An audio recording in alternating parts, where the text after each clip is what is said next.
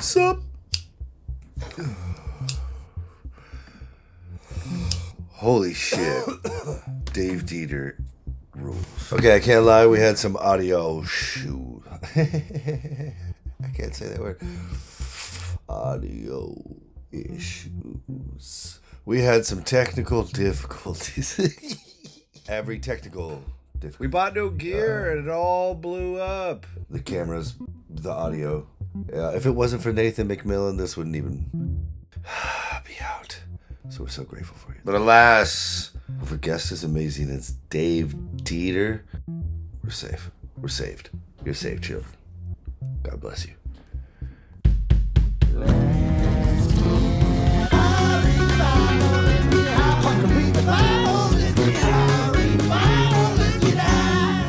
Eleven. Six. Shit's Yeah, I grew up in. Maple Valley. Oh, you did. Yeah, yeah. Uh, in the, the little town of Maple Valley, such as it is a town, when there was one traffic light, where Exact- that was in, it. where it where it's tangential to Highway 18. Yeah, exactly. Yeah. Yeah, yeah, yeah, yeah. Yeah. On a seven mile long dead end road. Really? Wow. That whole area. So I grew up in Northeast Seattle, uh, kind of where Duff, half a block from where Duff lives now. And uh, but I went to my dad helped start Crystal Mountain, so I drove through Maple Valley every like you know thirty times a winter. Oh, wow. uh, from age two to eighteen, Your and it was a lot different then. I can- It's yeah. one traffic light. Yeah, yeah. Yeah. Your dad helped start Crystal Mountain. Yeah, it was it was actually Stone's dad, my dad, and you know like thirty other guys who all just like let's start a ski area, and they all went in were part, sort of original partners, and there was some bigger partner who fronted more of the money, but yeah, it was a bunch of guys who were you know all like in their late twenties or early thirties, and they were all they all skied at Stevens. At that Stevens was the place at the time. Mm-hmm. Mm-hmm. Super high speed, crazy rope tows that they all rode, and then Crystal was the new thing. I had Yeah. no idea. Yeah, It's so beautiful. I just always thought that was there for. Well, always there. No, Crystal started in '62, I think. oh, wow. And you said Stone's dad? Stone Stone's Gossard? dad, yeah. Stone's dad. I'm, Who? I'm actually Who's named. Stone Gossard? I'm, I, I, Stone's dad. And, Stone's dad and my dad dude. were super, super good friends. I'm named That's so named cool. after Stone's dad. Actually. You are? Yeah. Really? Yeah. That's so cool. It's Dave. Gossard? Yep. Yeah. That- That's how that would work, right? Yeah. Yeah. Yeah. yeah. They were. Now, did, did you and Stone go to CCD together? No, I went and went CCD on my own. That's what I You was like talking about. segue? CC, we drove, we went to Chinese, and then we drove back by the villa, and I was like, oh fuck! I used to have to walk from Laurelhurst Elementary up to the villa. It was terrifying. Like What's the villa? the Villa Academy now, it's that the Catholic church that's up on the hill in Oh, Laurelhurst, oh, oh. which um, was where which was terrifying as a like third grader to walk up the hill and a in the twilight on a winter Monday evening to go to CCD. Yeah. No, I yeah, the whole. I somehow survived. I don't like that that's not working. Somehow survived. Oh, that's not. Yeah, um, yeah. Stone, uh, you know, Stone and I don't hang out together and never really have, but we're, you know, uh, we're it's weird like extended family. Yeah. You know, we're not like bro down, but Yeah. if we see each other, it's like seeing your cousin or something. Yeah. Crazy. It's weird. Yeah. That's fun. yeah. So he grew up in the, the same. He hood? grew up in Capitol Hill, and actually he lived right across the street from uh, what's his name, the Eulers. Um, Paul Paul, who Euler. ended up the jeweler, Paul Euler. Uh, yeah, they lived across the street from each other. C- stuff my CPU's full of. I, just- I don't know why I know that shit. It's dumbest stuff ever. Uh, and it, was Paul your age? No, Paul's. Uh, you know, the, all those. The I went to the same school as all those guys, but they're all like five or six years younger than me. They might have been in seventh and eighth grade when I was a senior in high school. Were you, were you 81? I was eighty-two. 82, right? Yeah, and I think Oh, no, like they're like 84. Yeah, or even, no, even younger actually.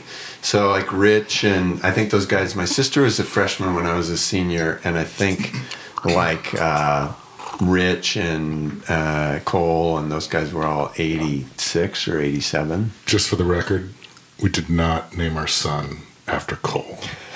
Cole's a really nice guy. I love Cole. I love Cole. and his dad, whether you know it or not, was a really well known uh, photographer. Yeah? Yeah, he he was a I think a. Photography? Yeah, and he did. You'd have to ask Cole about it. There's one super famous. I want to say it's of Jordan. There's one shot that he did that's been licensed like a billion times. I think. Oh, and it's Yeah. his. I think so. Yeah, I, I can't remember the whole story. Cole told Now, did to me Cole ten years. go to CCD? Uh, I don't. I don't know who the See, Catholic. see how, is. see what I'm doing there? Kind of Yeah, yeah, bring it take around. it- bring it back to the Catholic. Did you did you grow up going to church? I grew up. My mom grew up in like North Seattle parish. You know, she was part of a big parish. Oh wow. Do you know which, extended which family. one? Uh, why am I blanking? It's she was she lived on Northeast 80th, so it would have been whatever that. There's the Catholic parish right there, and I'm blanking on what it is. It's easy to do. It's mm. St. Patrick's or St. Joe's. or Yeah, St. it's one of those. Not St. Joe's. or- Yeah, yeah. O'Shaughnessy's, yeah. FX McRory's. The, the Macarusos, um, whatever. So it was. I grew up, yeah, and then my parents split up when I was seven or eight, and that kind of that was sort of the end of it. But I went to CCD until I remember that was like one of those first like uh, taking agency in your life. I think in like fourth or fifth grade, I was like, I don't really see the point of doing this until I Oh, stopped going to. CCD. But I had my first first communion with Eddie Hewlett's. How's that? so and so you got to figure, uh, you know, was the water sort of like simmering? Was there like was there steam? was there, With Ed? Like- No comment. I'd like You to gotta stand have- about. I'd you're like to stand about four people back, please. Doing when that hits the tongue. You're gonna like, have to have you have to have Ed on your show to get the stories. Uh, if you want to go there, you That's know, pretty that was- young to be like I, yeah, I intelligent. guess I, I don't know. You know, I don't know why I felt that at the time. I was not into that's- I mean, what fourth or fifth grade? somewhere in there, end of grade school. I was like, I don't see the point of doing this. I'm not not into it. Oh shit! And, and at CCD, it's like it's not like uh, we've talked about this. They can't really throw you out. Well, no, the kids. I remember it was one day a week after school, and I don't remember if it was year round. But so I would walk from Laurelhurst Elementary up the big. It, uh, plus, I just didn't like. I had to walk away from home Right. a half mile up the biggest hill in the neighborhood, and then it would in the twilight. You know, was and then it would be dark. Right. Then it'd be a little be like little eight year old me walking home in the dark in the rain at a mile and a half or two miles or whatever it was Yeah. after see didn't I wasn't really getting value out of that. That doesn't seem like a god that an eight-year-old wants to follow. No, no, and I don't remember anything at all from the you know the the lessons. I don't. I remember the weird halls because at that time Villa Academy hadn't really gotten going, so it was just sort of this weird ninety percent empty church building with Oh, it some wasn't scary well nuns. in it. No, no, because the Villa Academy then started up again and became a busy parochial school, but at that time it was not. So it was just this weird kind of extra building attached to the church that we went to, like big building, like, you know, four story, enormous neo and em- empty. empty yeah except for random scary nuns yeah it was super super creepy and you had to walk up some family bought the, the if you drive around up there i think the same family owns there are four or five houses on that property now but it was all just empty and you had to walk up was through all those scary those monkey trees you know the evergreen Oh, yeah, pokey yeah. ones that's Yeah, yeah, terrifying monkey tails. yeah yeah Oh. oh, my this god Is, this is yeah. This is yeah, it was super creepy. It was very gothic. It didn't turn me into a goth, but it was gothic. did you, but so you did, like did your before your parents got divorced your dad would go to church with your mom and We, you? we all went to church, and my mom's best friend, who she'd grown up next to in North Seattle, lived at that time like a block and a half from us in Laurelhurst. So that was kind of the. thing. You'd get up and go, and then go to one or somebody's house and eat donuts because you didn't eat anything before communion Right. in the morning. Everybody Was be that hungry. purpose? Pardon? Was that a- yeah, was that yeah? a You're, I think I don't. Yeah, I think so. I think you weren't supposed to eat Or- before communion. before you took the Lord Yeah, before, before you took the body, body. of the body of Christ, the body and blood of Christ. I think you're supposed to fast for that day before then, which you know, in churches at eight or nine in the morning. whatever yeah I don't remember I don't remember the fasting I don't know, tell- maybe that was like you maybe that was a um, you know um, neighborhood by neighborhood Tell Never- three billion Muslims that that's you know Ramadan. I mean, that's a bad idea. Yeah. and then but so was it like a hard stop when your parents got divorced everybody stopped going to church I don't remember. It was all you know. They didn't actually. They separated and didn't get divorced for like 35 years. So that's a whole other story. But Oh wow. yeah. that's interesting Um, that was pretty Religious much stuff. the end of it. Yeah, I don't.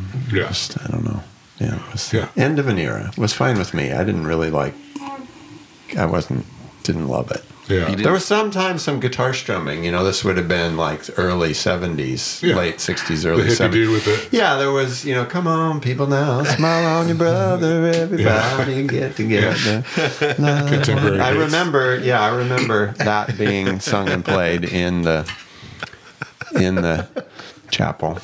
It's not exactly pomp and And I remember, circumstance. I remember, uh, I do remember the first communion. I think I had a clip-on tie, and I seem to remember Ed Helitz's mom bragging that he had tied his tie himself. That's, but those are my You religious know, memories. that's not surprising because Ed was always. I mean, I don't. Was he that fashionable even then? Uh, I don't remember. He was always cool. I mean, he was. I mean, he was.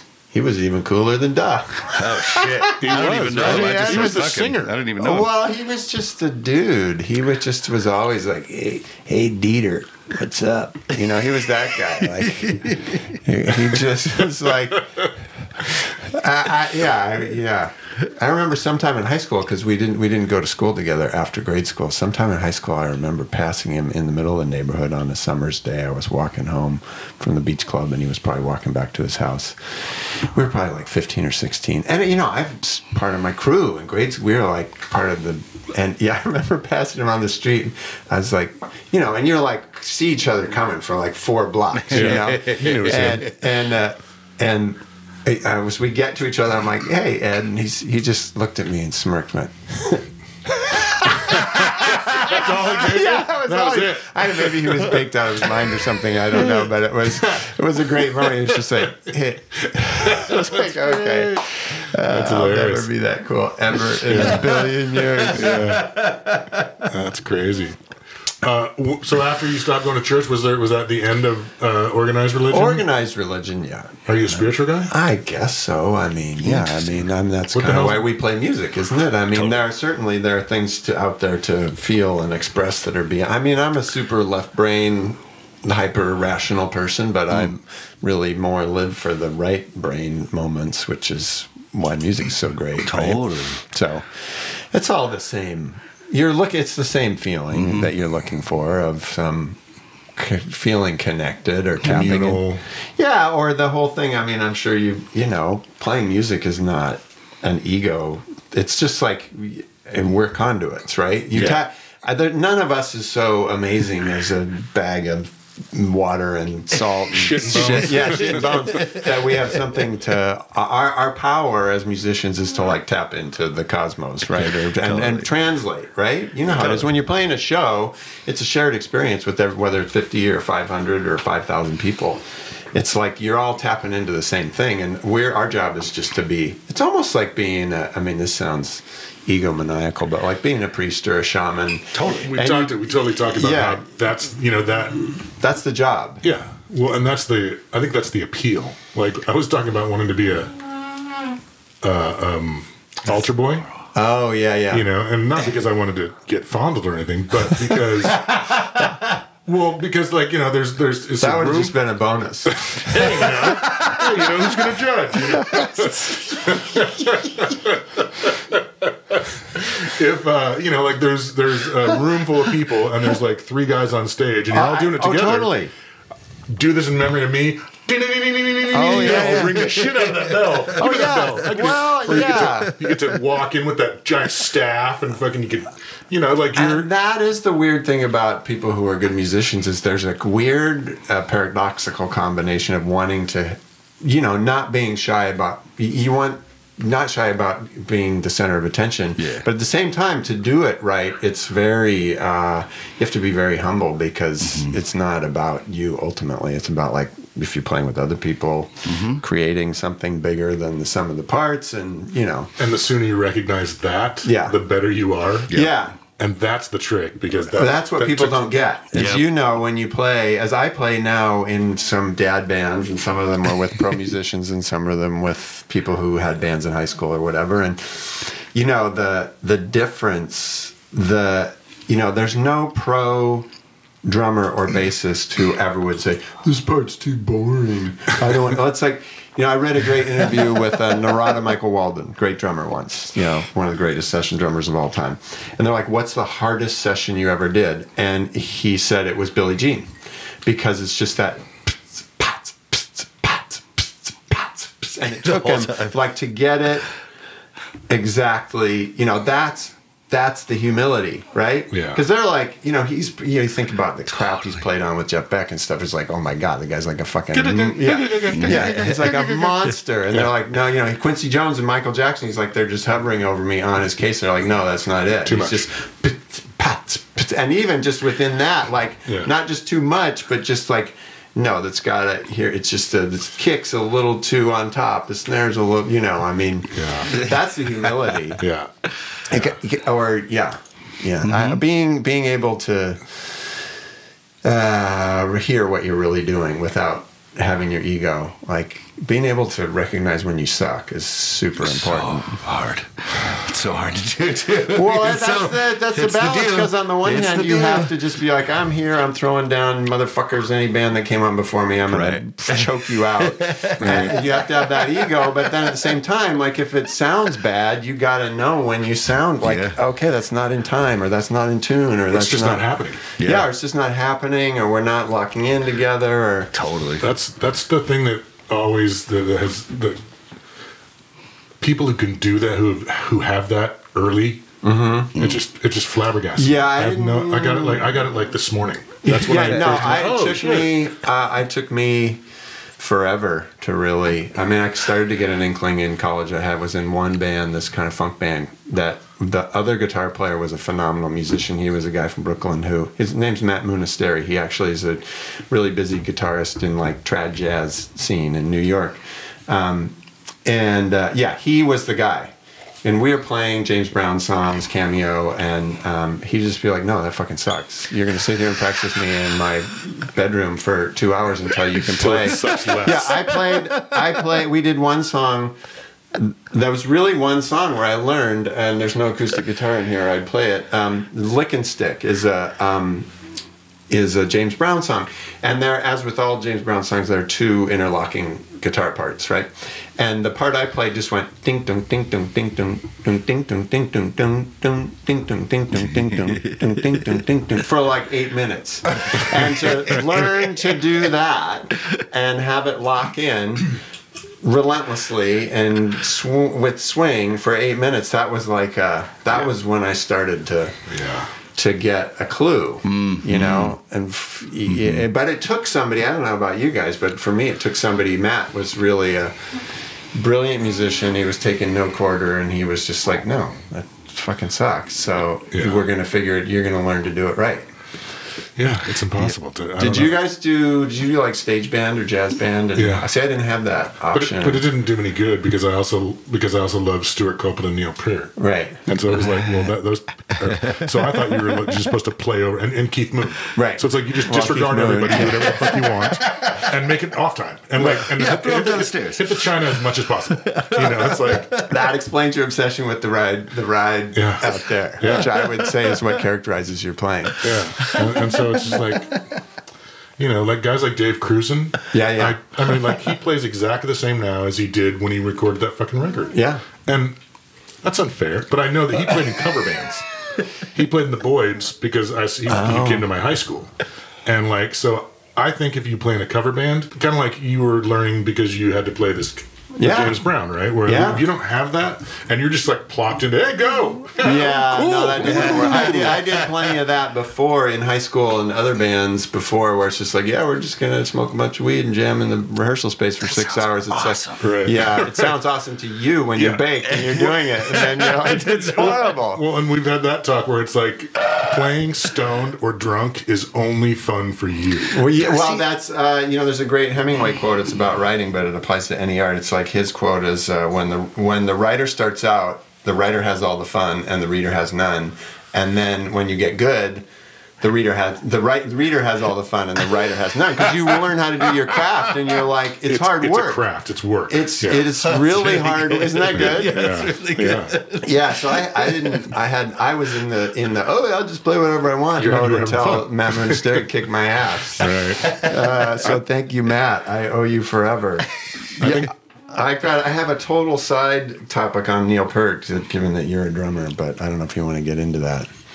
Yeah, we can always talk. I was listening. Holy There was a song. I'm trying to remember what it was. Some mid-period Rush, because my Rush thing is more like all the world's a stage.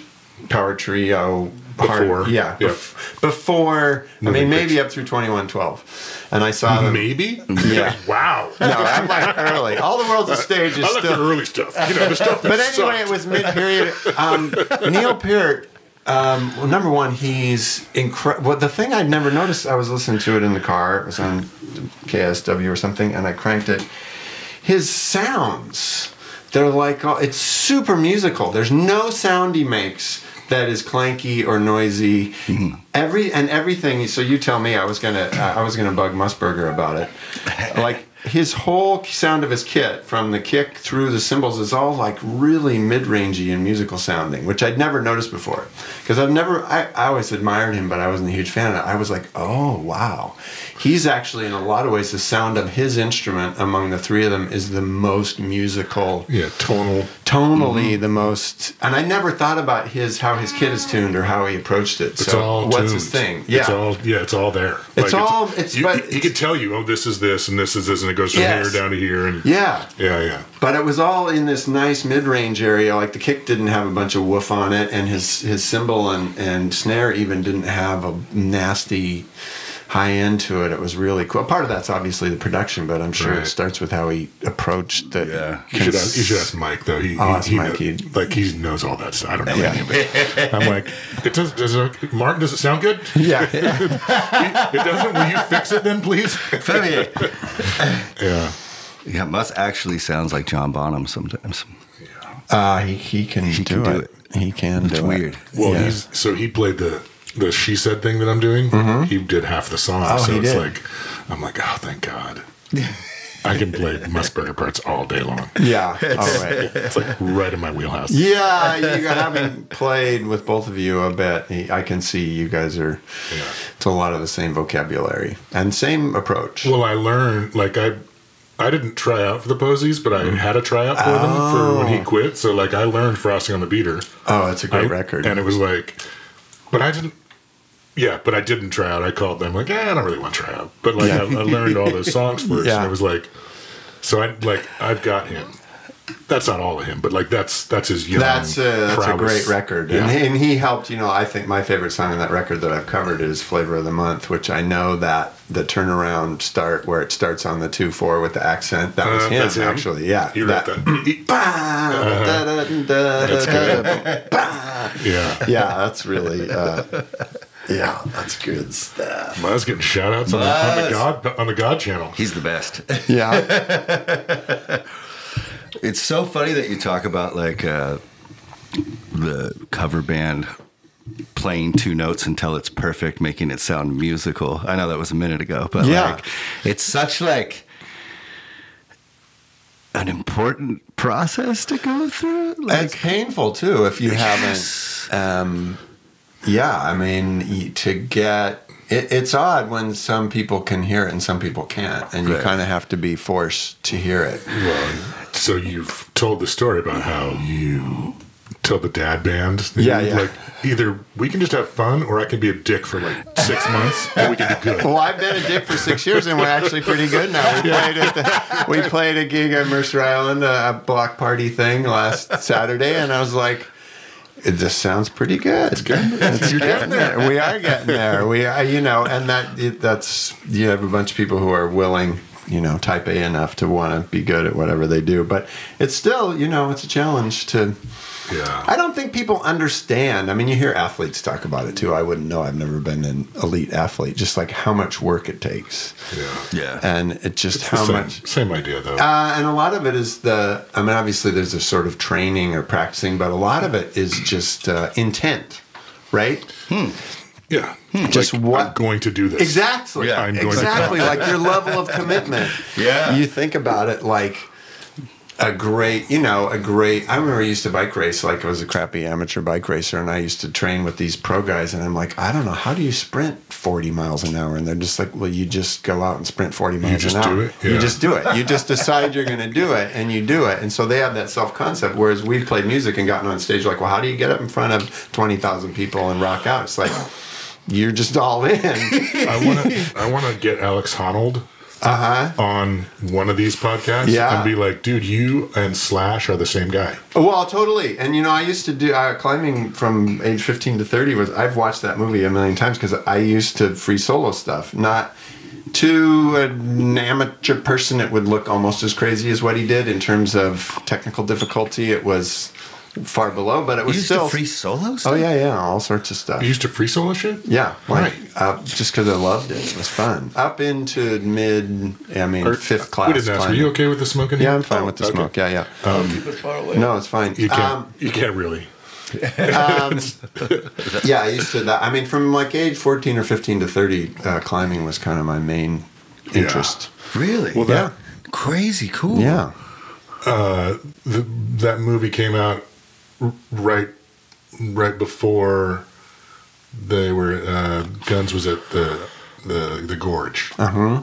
And I was what and I'm like, you know, he's got like he's up on the riser and it's just him. Yeah, and he's it's the holding same thing. He's holding this whole. All these people, Yeah. are on his fingertips. Yeah, I know. You know, and it's like, oh, they're that's exactly the same And thing. is, only you have one life, and he has like uh, you know fifty thousand lives in his hand. Yeah. but it's like that that mental. Yeah. this is what I'm just going to do. This. The level of commitment is the same, Yeah. and and I've, I've in that in climbing I've done it, and that's probably the only sport where I've done it, or maybe skiing well, too. you've also you've also held the the the uh, attention of thousands It's of people. It's pretty weird. It's a pretty weird experience. It's an intense level of commitment to when you're like playing your song and sixty-five thousand people are singing along. Don't fuck that part up. Yeah, don't fuck it up. yeah, Yeah, yeah. It's lower consequence than free soloing. lower consequence. Yeah, I love Yeah, that. lower. The I love this. What I do, I see as as, and this is how low I, risk. Lo- uh, yeah, relatively low risk, very high, High- consequence. Which is how you know I love seeing that movie because it helped me tap into that part of myself that I like 30 years ago. Like, Right. oh, I remember having that attitude, Yeah, that's but then things change. and and I think that I think he, you know, obviously that's understating because no one on the planet is anywhere near doing that. So it's not it's not just low risk. You know, it, it's incredibly high risk, given that no one else, you know, like percentage wise, like Yeah. where he falls in the in the on the on the curve, you know, Yeah. like on the, it's like, uh, it's just it's otherworldly. It is pretty. I mean, I could understand what he was doing. I, I mean, I understood precisely what he was doing, and there were a couple parts of it that were crazy. The ones that freaked him out. Well, the one move he did in the middle, which is 513 B or C, which is The kick. yeah, yeah, the little very thin, and then there's the part at the bottom where he backed off in the first try, which Right. is just friction climbing, where you really have no holds. You're just literally like kind of. Yeah. And so I could that probably for him was scarier even than the technically rated harder move in the middle. Everything else I could understand like above that move there's a bunch of it's very technically difficult but it's like crack climbing if you're confident and you have your hands and feet in the crack it's just a matter of endurance and strength. And and what he did was an insanely an insane high level in terms of athletics but I it didn't but that move that he did in the middle like he could yeah. There's no there's no reason he doesn't like there, there, there's a pretty good chance there's a better than 1 or 2% chance there's a better than 1% chance that he would miss that move even if he was even with all the practice he yeah did, yeah you know, even with all that they're just when the holes he- are that small he fucking nuts it. He just uh, oh, he nuts it, and then they don't have the sound on, and he turns and looks at the camera and goes, "Fuck yeah!" yeah, yeah, yeah, yeah, yeah, yeah. He just super smiles right into the remote camera. He's Yeah. like, "Fuck yeah!" Yeah, that was it. And then he hauls. Well, and what about the fucking guy in the bunny suit or the, the unicorns? Yeah. The greatest thing ever. It's like you're kidding me. You're kidding me. Yeah, that I watched that couple times a year. I saw it. Yeah, I've seen it. I don't know six or eight times. That was Have you seen Alone on the Wall? no. This is totally like not like so. You have to watch that because he does because he does. uh What's the other one that's not El Captain? uh, uh, Northwest Face of Half Dome. He does Half Dome. Yeah, he- which he did. but he fucking freaks out. And Yeah, he like, does a- freak out. He has a Yeah, nervous, and- like he like, yeah.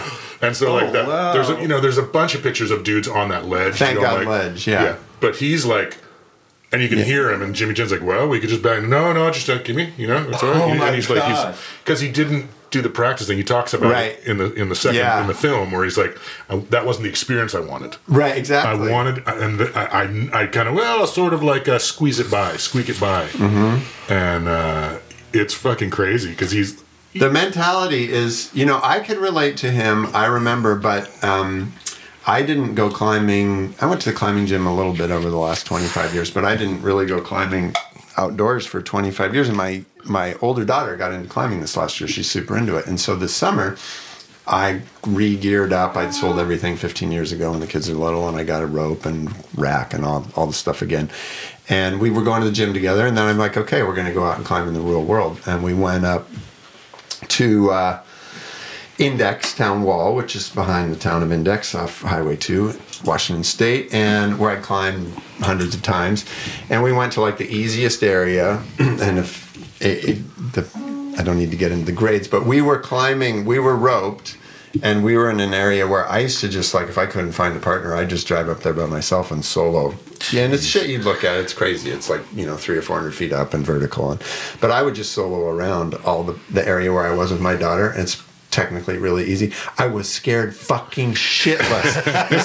I went there with the rope, with Yeah. the gear, I was like, oh my god, I cannot believe that. Willy-nilly. Yeah, well, I cannot believe that I could do this at one point. I could not access them, and I went two or three more times this summer climbing the real world, and it did get a little. Just like music, like you get the reps in, and it, Yeah. I was a little less freaked out, but I was still like scared out of my mind. it's like you want to go back and punch young Dave in the dick. Yeah, Get off that mountain! Yeah. Get off that mountain! Yeah. Are you crazy? I don't know. Yeah. Yeah. So yeah, things change. But that's, I mean, that's, I don't under, I mean, I guess if you're into climbing and you're that type of personality, you're going to, if you gravitate towards that, I, I guess I understand it, but it's like, I What- felt like Alex Honnold when I used to solo. I would just usually it would be climbs I'd done before, and I'd be like, "This is I'm a thousand percent confident that I know Right. what's there, and I know all the moves, and uh, it's secure, and there's no. I'm not going to do anything with any super sketchy moves or bad rock. And at least that's what I was. That was my concept. how do you know? Do you know You where bad rock? The You problem don't. is the problem Yeah, is exactly. the bees come out of the crack and sting you, or there's a Right. rattlesnake in the crack, or or, there's a bird, or a rock the size of a quarter hits you in the head, and you know you're cut and bleeding, and you can't see. I mean, there are a billion things that can happen that are gonna, Yeah. aside from just freaking out or you know running out of strength or whatever. Well, Damn. I, I guess I don't know. Is that another? Is that another place where you're channeling? You know, like when you get up on a wall like that, and you're just you and this rock and no no rope. Is it? Oh, it's the same feeling as playing. I mean, it's all a form of expression, right? I mean, that's why I like. That's why I gravitated to free soloing because when you're climbing with somebody else, there's you spend ninety percent of your time like managing the rope and belaying mm. and dealing with the gear, really. Whereas when you go free solo, you're just moving. Yeah. You're expressing yourself, Yeah. you know, in time and space, yeah. just like mm. music. That's what was so rad about about uh about free solo. Is like he just what is it like two and a half hours? It was It's like, crazy. Yeah, it's just like fastest. It's yeah, it was like yeah. an ant. So the the difference between the experience of like, well, he and his partner Tommy Caldwell, you know, that route's been done in a half day roped, but historically, a route like that takes two, three, four days of bivouac. You know, like the guys they passed who Right. are bivouacking. So to have the feeling of doing it in two and a half hours instead of two and a half days, you can imagine that's Yeah. a very different. And you're not carrying any gear. You're wearing your rock shoes. You get a t-shirt and shorts on, and you have a chalk bag. He's so stoked. That's it. Well, Versus harness, Yeah, all you know, Yeah. pounds and pounds of gear and hauling the rope up, hauling your haul bag up. It's like hyper focus. Like you have to be in that Yeah. moment. There's Yeah. no choice. I think that's what got me into it in high school. Just that, like to way out of teenage angst is to go to. At that time, there were no indoor climbing. There was just Husky Rock down by the stadium there. Oh, right. Oh, right, Which was yeah. on my way to and from school when I rode my bike. So I just stop and mm-hmm. like hmm. check out, like you're saying, like for an hour of just like total focus. Meditation or something. Yeah, it is. yeah. It's the same thing, just forced Yeah, yeah. instead of Because Right. we're neurotic, so it's Yeah, you can't sit and get there. You have to actually have like No, a vehicle. I, I mean, yeah, that takes yeah. you there. Yeah, exactly. It is a vehicle for reflection and or for focus at least. Yeah. Crazy. It is crazy. Yeah, music's a lot of the same way, obviously, too. I was, uh, this is an earlier question, but have you ever been booed off stage? Uh, that's a good question. Booed. Uh, um, kind of sucked badly a few times, like in the mid '80s, playing it uh, downtown in what would have been the sort of pre-grunge scene. Not booed off stage. Uh, there Oh, was okay. one time though. Um, was the before they regrouped, bef- right before Chris quit.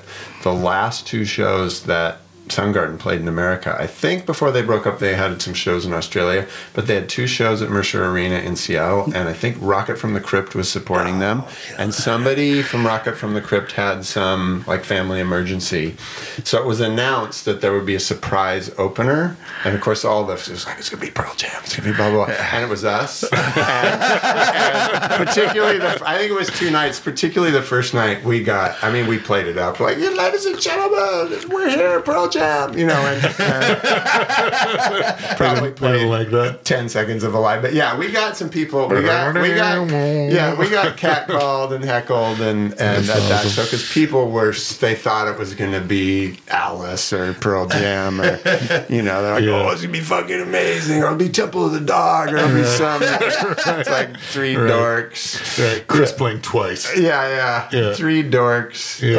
Um, yeah. I think that was, that's a good question. I don't know. Have you ever been booed off stage? Many times. Really? And like Many. Doing, doing stand up or times? playing Uh, music? four or five? Music, music, yeah. no. Stand up. Not trying to be funny. no, I'm, if I'm funny, it's accidental. Unfortunately, I grew up very isolated. So, So I want to hear. Oh, well, give me the best one at least. let's see. Let's see. well, there's there's two. There's um, we were opening for this band, uh, Rise Against. Have you Oh, yeah, yeah, yeah. Yeah, I and know who they are. So it was a comeback kid from Autumn to Ashes, Rise Against, and we were like second. So, Mm-hmm. um, and it was just like one of those bad shows from the start. Like we changed the set list, so like I was supposed to start out the whole set, you know, Mm-hmm. and like. We haven't been doing that for the fucking three months we had been on tour before. Yeah. So it's like right from the start, I'm just sitting there. I'm like, okay, Justin's gonna come in any second now, you know, for the other guitar player. Yeah, yeah.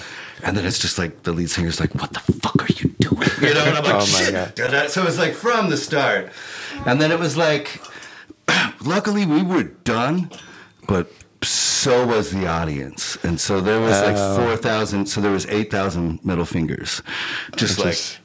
So as we're exiting, it's just like,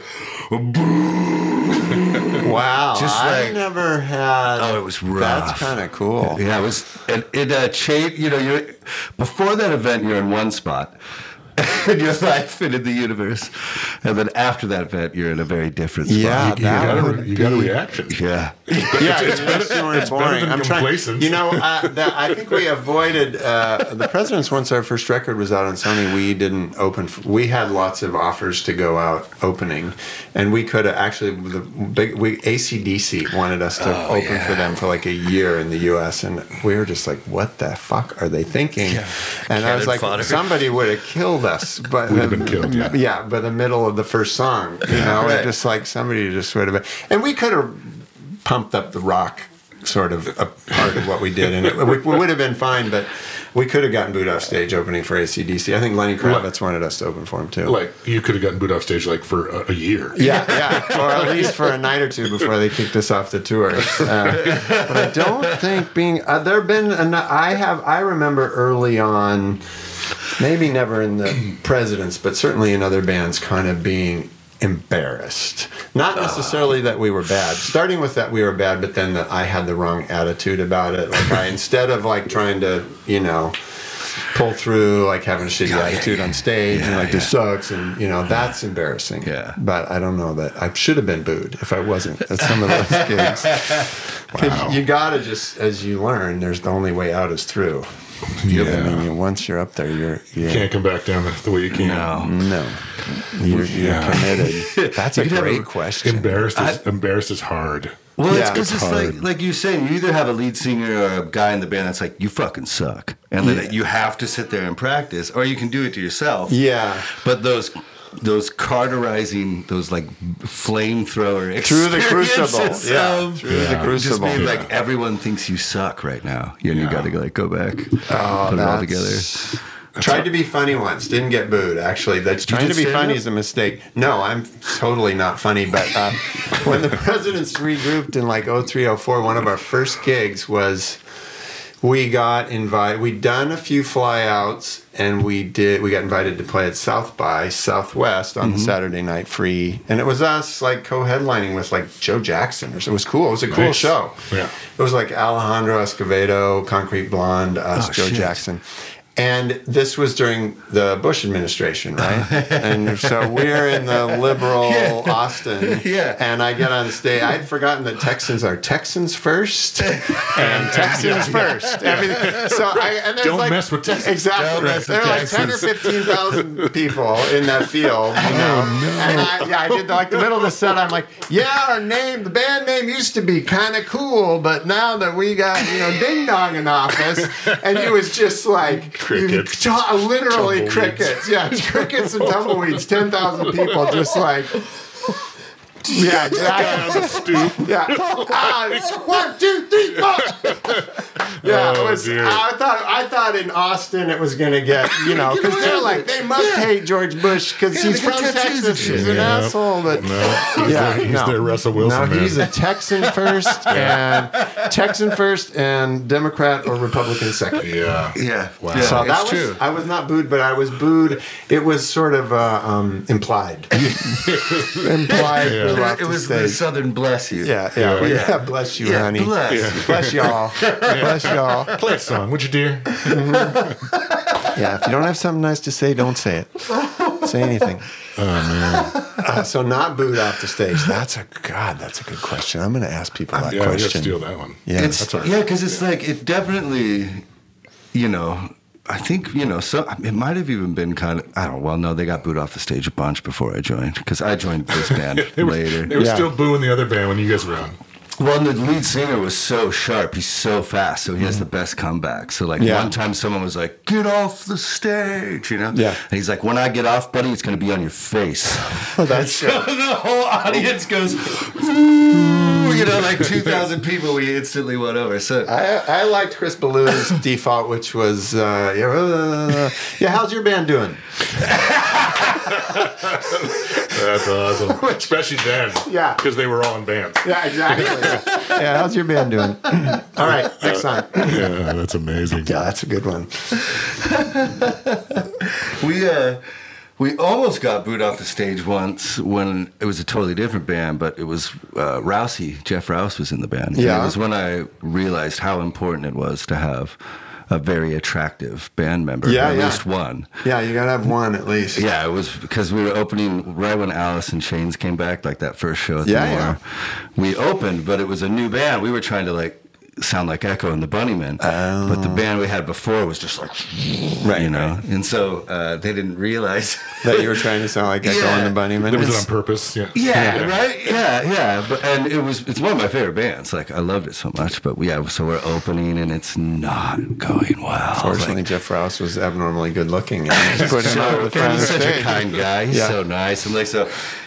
He's like playing up there, right? Yeah, yeah. And there's like this string at the, in the more like of maybe 12 attractive women. Yeah. And they're just they're all sitting next to each other all in a row and you, I'm just like watching the audience start to turn, you know. Right. They've gone from like they got beers, they're like and they're just the movement has stopped and it's like Body language. one of these girls, one of these girls from this row goes like, "We like them!" Just yells Yeah. that out, and like everyone That's started what. That's, you know? I always- that's what I say to my cover band mates. The the amateurs like you just if you get the girlies high jumping, you're fine. all which you- which we Yeah, do. she Yeah. was on Rouse's side. Yeah, once you, you got yeah, it worked. We like him. We like him. And then if they go, okay, the hot chicks like him, then fine. Fine. We, won't, we won't beat him up afterwards. yeah. We won't chuck our fourteen dollar beer at them. Yeah, they definitely could have back then too. It was like a Yeah. buck twenty-five probably. Yeah. I guess so. It's fun that we only talk about band stuff, but I have my Bible here. Wow. My Bible. I called home from tour to make sure this was a correct translation. Is it the King James? No, it's an ESV, an English Standard Version. Yeah, yeah, yeah. It's, yeah. uh, they're actually, all it's not very good. Do you guys quote scripture during the show? Oh usually? yeah, he's gotten me. When, Well, it's, chapter when and it's just the two of us, we read we read because I've never yeah. read the Bible. Oh, you haven't. The Bible's good reading. I mean, I've read it in kind of a studying philosophy and literature. It's the basis, obviously, for much of Western philosophy and literature. Blah blah blah blah blah. Did you uh, start with the Old Testament? Um, I had one class in high school where we read a lot of the Old Testament, and I kind of just over the course of various like comparative religion and philosophy classes. That's fucking awesome. I mean, the Book of Job is a must Yes. read for sure. That's my favorite. Um, as we all suffer. Genesis is a kind of just cool because it's the Big Bang in a few pages. And the Nephilim. Yeah. Um, so I don't know. I haven't read it for a long time. I've always, I was talking about this with with my younger daughter the other day about because they're both in college, my kids, and reading translation is weird. I just am not. I'm more and more not into reading anything that's been translated, and obviously the Bible's been translated, transliterated Once or twice. Yeah. Yeah, yeah, once or twice. It's sort of a, So, um, so that's a, you know, obviously it can still be thought provoking, and this, the the outline, of the story can be compelling. But I sort of felt like for me, the next level to get into it is you'd have to go back to like actually dig Yeah, into learn- the earlier learn language. Greek. Yeah, I'm, or or at least key phrases and understand. Right. You know, differences of interpretation of key passages because that makes a ton of sense. yeah, super boring to talk but- about, but it makes a lot of sense. I, that's all I do is listen talk to about books. the Bible's shortcomings. Yeah, I I love textual criticism. Is what it's called. Well, People who I read think the that I mean language. uh, the one thing I did take away from well, one or two things from biblical studies. Obviously, just Old Testament versus New Testament. Old Testament is eye for an eye, tooth for a tooth, and the New Testament's turn the other cheek, right? Which, in the thing, if you kind of dig into that and read the New Testament, especially, it's like it's fucking radical. Jesus was super, super, super radical philosopher. Like literally, you're in a dog eat dog culture, and he's like, no, yeah, turn the other cheek. I mean, that's out there. That's out there. Way out there. It's still out there. Mm-hmm. You know, Proud Boys aren't turning the other cheek. It's, it's not, you know, I mean, it is way out there. So I think that's kind of the most interesting thing about the Bible to me is just how extreme it is. Uh, or, or the New Testament. Yeah. Mm-hmm. Yeah. Yeah, I, I tend to like Jesus uh, in any form of the Gospels, even though I know it's all flawed. but I I grew up so fundamentalist. I was like homeschooled. Oh, Okay. Uh, so you got the uh, full. Oh, I literally taught myself to read by memorizing the Bible. Like, so I didn't learn to think until I got in bands and we were on tour, and you know, people would have harder arguments to my Right. theologies, and I'd Right. be like, "Wait, a s- like actually, this is Wait even me in uh, green rooms." Uh, so, but uh, as we've been reading through it again, because before we started this, I was like, "Man, I gotta." Fill in some gaps in my knowledge because I've read the Bible a lot. I've memorized sections, full books, Right. even. But uh, it is from a fundamentalist perspective. What is it with the fundamentalist Northwest? Like, who was I talking to, hanging, uh, having coffee with a little bit like 10 years ago? Noah Gundersen. Yeah, The whole family's like Yeah. fundamentalist, sing along, how they all started. music is very important to church. It's how you get people hypnotized so Sure. they give money. I was listening to an interview with Lizzo on NPR yesterday, and she was talking, you know, and most people who are good at music, unlike me, started in church. Mm-hmm. you know, people who actually know how to play. Yeah, what's it? Allen? What's his? What's that amazing soul singer guy from up here? Allen Stone? Yeah. Was he a churchy guy mm-hmm. too? Oh, see, mm-hmm. it's not surprising at all. Yeah. I'm just, yeah, I'm just like white, no churchy. Well, see, that's because you got intelligence. You know, I, don't- just I don't I, know how I, much the world was kept from Why? I think he. Luckily, you have some intelligence. I, was, otherwise that, you're I just- mentioned that funk band I was in at college, and, and actually that guy Matt Munisteri, who was a white guy too, from Brooklyn. But this band was like the Rainbow Coalition. It was a complete mishmash of ethnicities. I was sitting leaning against the wall one day before rehearsal and in the sun and my shorts, you know, like jock guy, and he walks up and he says, "Man, you are the fucking honkies honky." I, like, I guess that's true, man. I guess I am Solid. solid, Jack.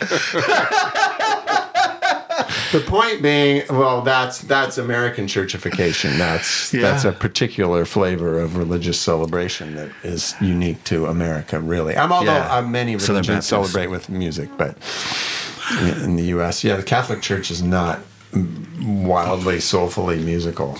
But they have all that cool shit to look at there. There's So cool. they have all the big good things and the rituals. hats and the things. Well, swinging if you think of the mass being in Latin up until 60 years ago, 50 years ago, that was Yeah. Mm-hmm. more musical, I think, if you to hear the kind of mass in chanting and yeah. Yeah. there's a cadence to it. Yeah, there's, still a cadence, but now you know what they're saying, so Yeah, it's less That's mysterious. interesting. Yeah. It's less interesting, right? It's not fun. It is interesting. Saying interesting. the same shit over and over again. You gotta like you gotta listen. There's a song, a great, great, great song that my bandmate Chris wrote years ago called "The Dinner Table Breakdown" in 1979, which is his family, his mom in particular, was deeply religious Catholic, if I remember right. But it's a song about just being in like seventh or eighth grade and just freaking out. It's a brilliant song, freaking out like about God and Carl Sagan and billions Oh, of stars. man. And yeah, yeah, it was like I'm about to get a Hail Sagan tattoo. wow. yeah, like, brilliant. I've, he changed my life. Yeah. Yeah. Yeah. Well, this is the this is the song for you. Well, I'll Okay, see if yes. I'll look after we get off. Yeah, yeah. It's Hell really yeah. good. I think it's still somewhere on the interwebs. Yeah, you mentioned philosophy. Are you into that then? I guess I was. I mean, you know, I was like a humanities. I don't know if I was into humanities as a as a student because I was genuinely interested in it, or if it was You because I honky sucked at math and science. but I was good at anything that involved language. I don't know. Yeah, I was deep. Yeah, I mean, the, I my undergraduate degrees in literature, so it's That's basically philosophy. So I yeah, in high school and college, I guess I was most interested in like What was your major? uh, English and American literature. Man, And mine was the literature. No, no, just just English major. I mean, Oh. yeah, for lack of a better way to say it. Gotcha. Yeah, Katie has a minor in literature. yeah. So that's what I did. I don't That's know. cool. I was just, yeah, I don't know. I was into the world of ideas from that from that age where you're like. 13 to 15 and your brain just explodes and all of a sudden like everything's just Floyd. yeah exactly yeah. all See, I didn't get any of that. I got didn't all that. You were yeah. constrained by your your Yeah, fundamentalist Uh, framework that you probably were in with your household and your church. But Stacking chairs. Yeah. Yeah. no, I was, I yeah, I was fully into all that and wanting to explore the life of the mind. And That's so bad. Did you do psychedelics or anything? uh, it early in high school a couple times and had horrible experiences and Oh, no. then never did them again. I think basically I had uh, one time when I was high, I had a panic attack. oh no, that sucks. So I'm not a big believer in psychedelics for anybody who's under 25. I actually agree. I think you know your executive function's not really there. formed till you're 25 It's or not so. solid. Yeah. I didn't even smoke weed till I was thirty. Uh, yeah, I'd like. I'm I kind of was more interested in all that when I was younger, and by the end of high school, I was mostly not interested. But yeah, my kids, I told them just like if you want to do any of that stuff, just wait till you're 25. Yes. just that's fine. You know, exploration is fine, but you should wait until you're kind of your cognitive abilities are pretty Yes. well Yeah. established. yeah. Pretty, yeah. Yeah. So, but I was interested in it like we all were with the doors of perception and, you know, all that stuff. And I had a lot of friends who did a lot more of that than I did. And they did it not from a like, let's just get crazy, but from a like, let's explore Yeah. Um, uh, our spirituality and con- interconnectedness. But um, yeah, it was not, I don't know, maybe I just wound a little too tight.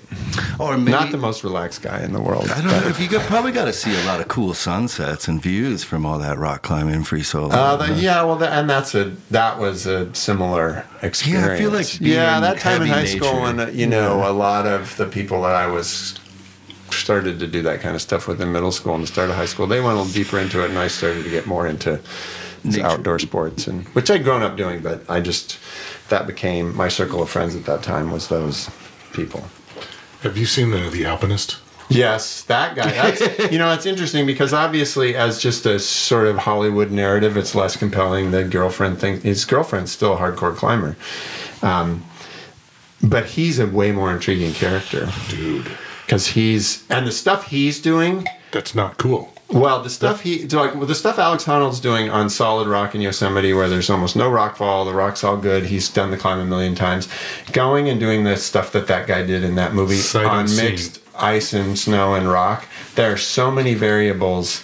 And some of the stuff, there's the scene in the opening and the closing. He's they've got some some kind of footage of him summiting, and that's a mountain, Slesse Mountain, which is up by the um, Washington BC border, that I haven't climbed, but I'm familiar with it. And like, and that and he's doing that just kind of to give him some B-roll. That was not even one of the hard things that he did, but what he's doing there is like Damn. insane It's that and and he died of course because what he was doing. But he was a fascinating character because he was you know alex honnold has a very clear worldview and and sense of his risk assessment that guy was just like i don't know i moved to squamish i partied a whole bunch took a bunch of drugs for a while and then i decided i would and then he and he was not you know he would ignore his sponsors he'd disappear for months at a time he was I fat love it was those really people. interesting that's worth I watching those if you haven't seen it I haven't. No. it's it's the it's the scariest. It, like it makes Yeah. it makes free solo look like Yeah. kindergarten. Well, and in terms of if you know about climbing it, it really is. Well, the like- shit where like I because and and correct me if I'm wrong, but a lot of that is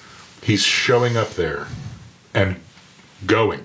Yeah, and and- figuring out on the fly. Yeah, Like, he's figuring. Yeah, there's no way the things he's doing you couldn't practice them because they're so big and they're so exposed and they're so intense. It's or, not or, a or they're gone the next day. Yeah, the ice is gone the next day. The ice and snow are gone the next day, and the conditions are completely different. shit he's like going between mediums where he's oh, going Oh, yeah. from stone and then he's on that ice thing and I'm Yeah. like you, and then there's one shot where it's like the ice thing is only this wide Yeah. and then I'm like what are you yeah. that's not safe No, That- it's like, not. it's that what he was doing within That is not safe, within sir. a certain within a certain set of limits, what Alex Honnold was doing was safe because it's pretty controlled. Right, He was right. controlling the level of risk. Right. He was he, he could stop at any point and go, okay, l- bring me me, a a rope, give me yeah. Right. Whereas that that guy in the alpinist, what he was doing at any moment, he could have died any number That's of so twenty or thirty yeah no different guys ways. yeah it's like and he's so it's interesting as a movie just because he's it's less good as a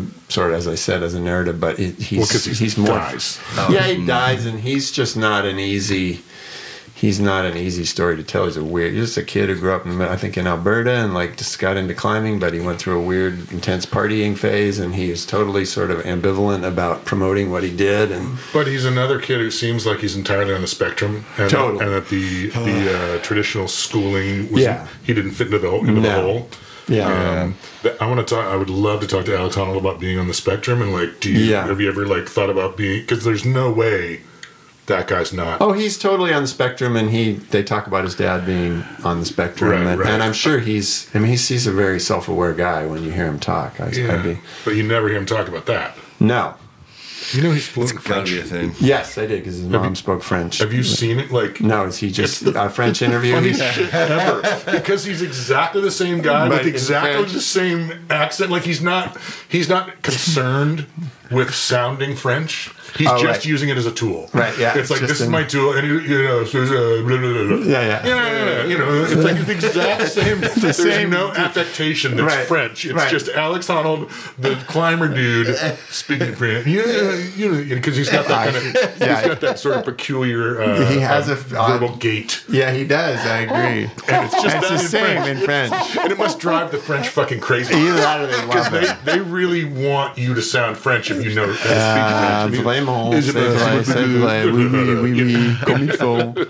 Yeah, the That's so French do. Um, I've done, some, I've done some YouTube deep dives I on have a little bit of French comprehension, so I'll go. I'll go. I've pretty watched funny. a lot of interviews with him, Dude, because he's a I've done some- fascinating I've guy. Done some black holes. Yeah, I have. Yeah. Uh, Really? He- I don't think there's any black hole on the guy in the Alpinist because No, no. he didn't talk to anybody. oh, right, right. Yeah, there's no, you can't do No, it. he didn't go promote or do interview. He died. love but I've never heard I of don't it he before would- that no. movie. I had being still following climbing a little bit. I, you know, he he didn't promote himself very much, but in climbing magazine or the website, there'd be occasional like, so uh, this guy went and did this insane free solo, and he, he what he did was so notable, and people did know about it, but he he didn't. He wasn't on the cover of the magazines or anything. He just didn't want to do that, which is, makes him even more kind of fascinating. Yeah, yeah. just living in the woods with his girlfriend in a tent. But probably climbing. not, but like a little, not necessarily surprising. Like No. a guy who, like, same with Honnold. Like, those guys aren't going to be out there for the. They're not the lead guitar player. Dude, No, so You know what I mean? They're not so going to wear many top. Bible They're not gonna, you No, know- that and that guy, the the sort of guru in the in free solo, uh, Peter Croft, who Yeah, was yeah. my kind of my age, and he was around when I was starting as a teenager and in my twenties. He would be around down at Index and Leavenworth, and Okay. go to Squamish, and he'd be there. like We'd go to straight up Yosemite. around. But and he was a legend then, in you know, like when we were in our mid twenties. But yeah, same thing. Like you'd never, no, you you because he's alive, and that's well, I- well, and he would never promote himself ever. That's kind of like that. that's the other part of the, the kind of old school ethos. Like Uh-huh. people have done like some of the most amazing athletic feats of all time. Like, yeah, They're concerned with the work. yeah, exactly. That's like there's only Yeah. I only Yeah. have time for one thing. It's like Einstein having one suit. You know, the weird thing in I think know. about this a lot with with amateur because I love sports. I've always played. You know, I've done played team sports all the time and done all these outdoor sports, ski racing, all this stuff. The interesting thing about I kind of think of them and music as the same. The interesting thing about music is there's or should be an audience, right? But if you're an mm-hmm. amateur athlete, like I feel like I'm better. You know, I started skiing when I was two, and Damn. my body's starting to let me down a little bit. But I feel like I can express myself skiing better than I can express myself playing the guitar. Like Damn. when if I if the, you know I can sort of see a line and uh, conceive it all in an instant and just rip it, and it's a it's just like playing a solo or something. Do you listen to music while you're skiing? I don't. No, but it feels musical, and um, and um, I feel like I can do that better than um, playing music. But it's different because playing music, you really kind of feel like you are kind of doing it for other people. I mean, you you mm-hmm. focus on the work, but ultimately it's to like we were talking about at the start of the conversation to convey a feeling. Mm-hmm. Although. I, yeah, the skiing there, you sometimes there is an audience. People are on the channel Oh, yeah, they see you, and I loved that as Yeah, a kid. I really- love oh, yeah. ripping under the lift Or line and having people. a jump and I'm like, "Whoa!" Yeah, exactly. Eating shit. Yeah, or Yeah. eating shit. Yeah. So, did you see that picture over there? Oh yeah, free dogging it at Jackson Hole. Yeah, and the guy on the lift. Yeah, totally. It's Spread eagle. Yeah, yeah. My, Yeah, uh, no, I so there's I kind crashed. of I crashed. You did? I knew oh, I Oh, was that- going. oh, that's beautiful. I was like, I'm, gonna, I'm just gonna hit. Well, there was a there was a photographer to take a picture of the people. I'm like, hey, will you take another one? You know, there was like a Yeah. guy from Jackson Hole. Some, you know, he's like, oh yeah, they just follow people around. right, right. So I'm like, I'm, I'm gonna hit it more than I'm comfortable with because I want to get a good picture. It's a of good picture. You have the full, you know, it was pretty. starfish spread Yeah. eagle. You got the hands out, and then after that, shortly after that, it was Jerry of the Day on the landing. Yeah, yeah. yeah. It was a yard sale. Train wreck. Yeah. That's I, um, my mom would take us up every Wednesday to Snoqualmie. Oh yeah. And if we got our homework done in time, we could go ski until it got dark.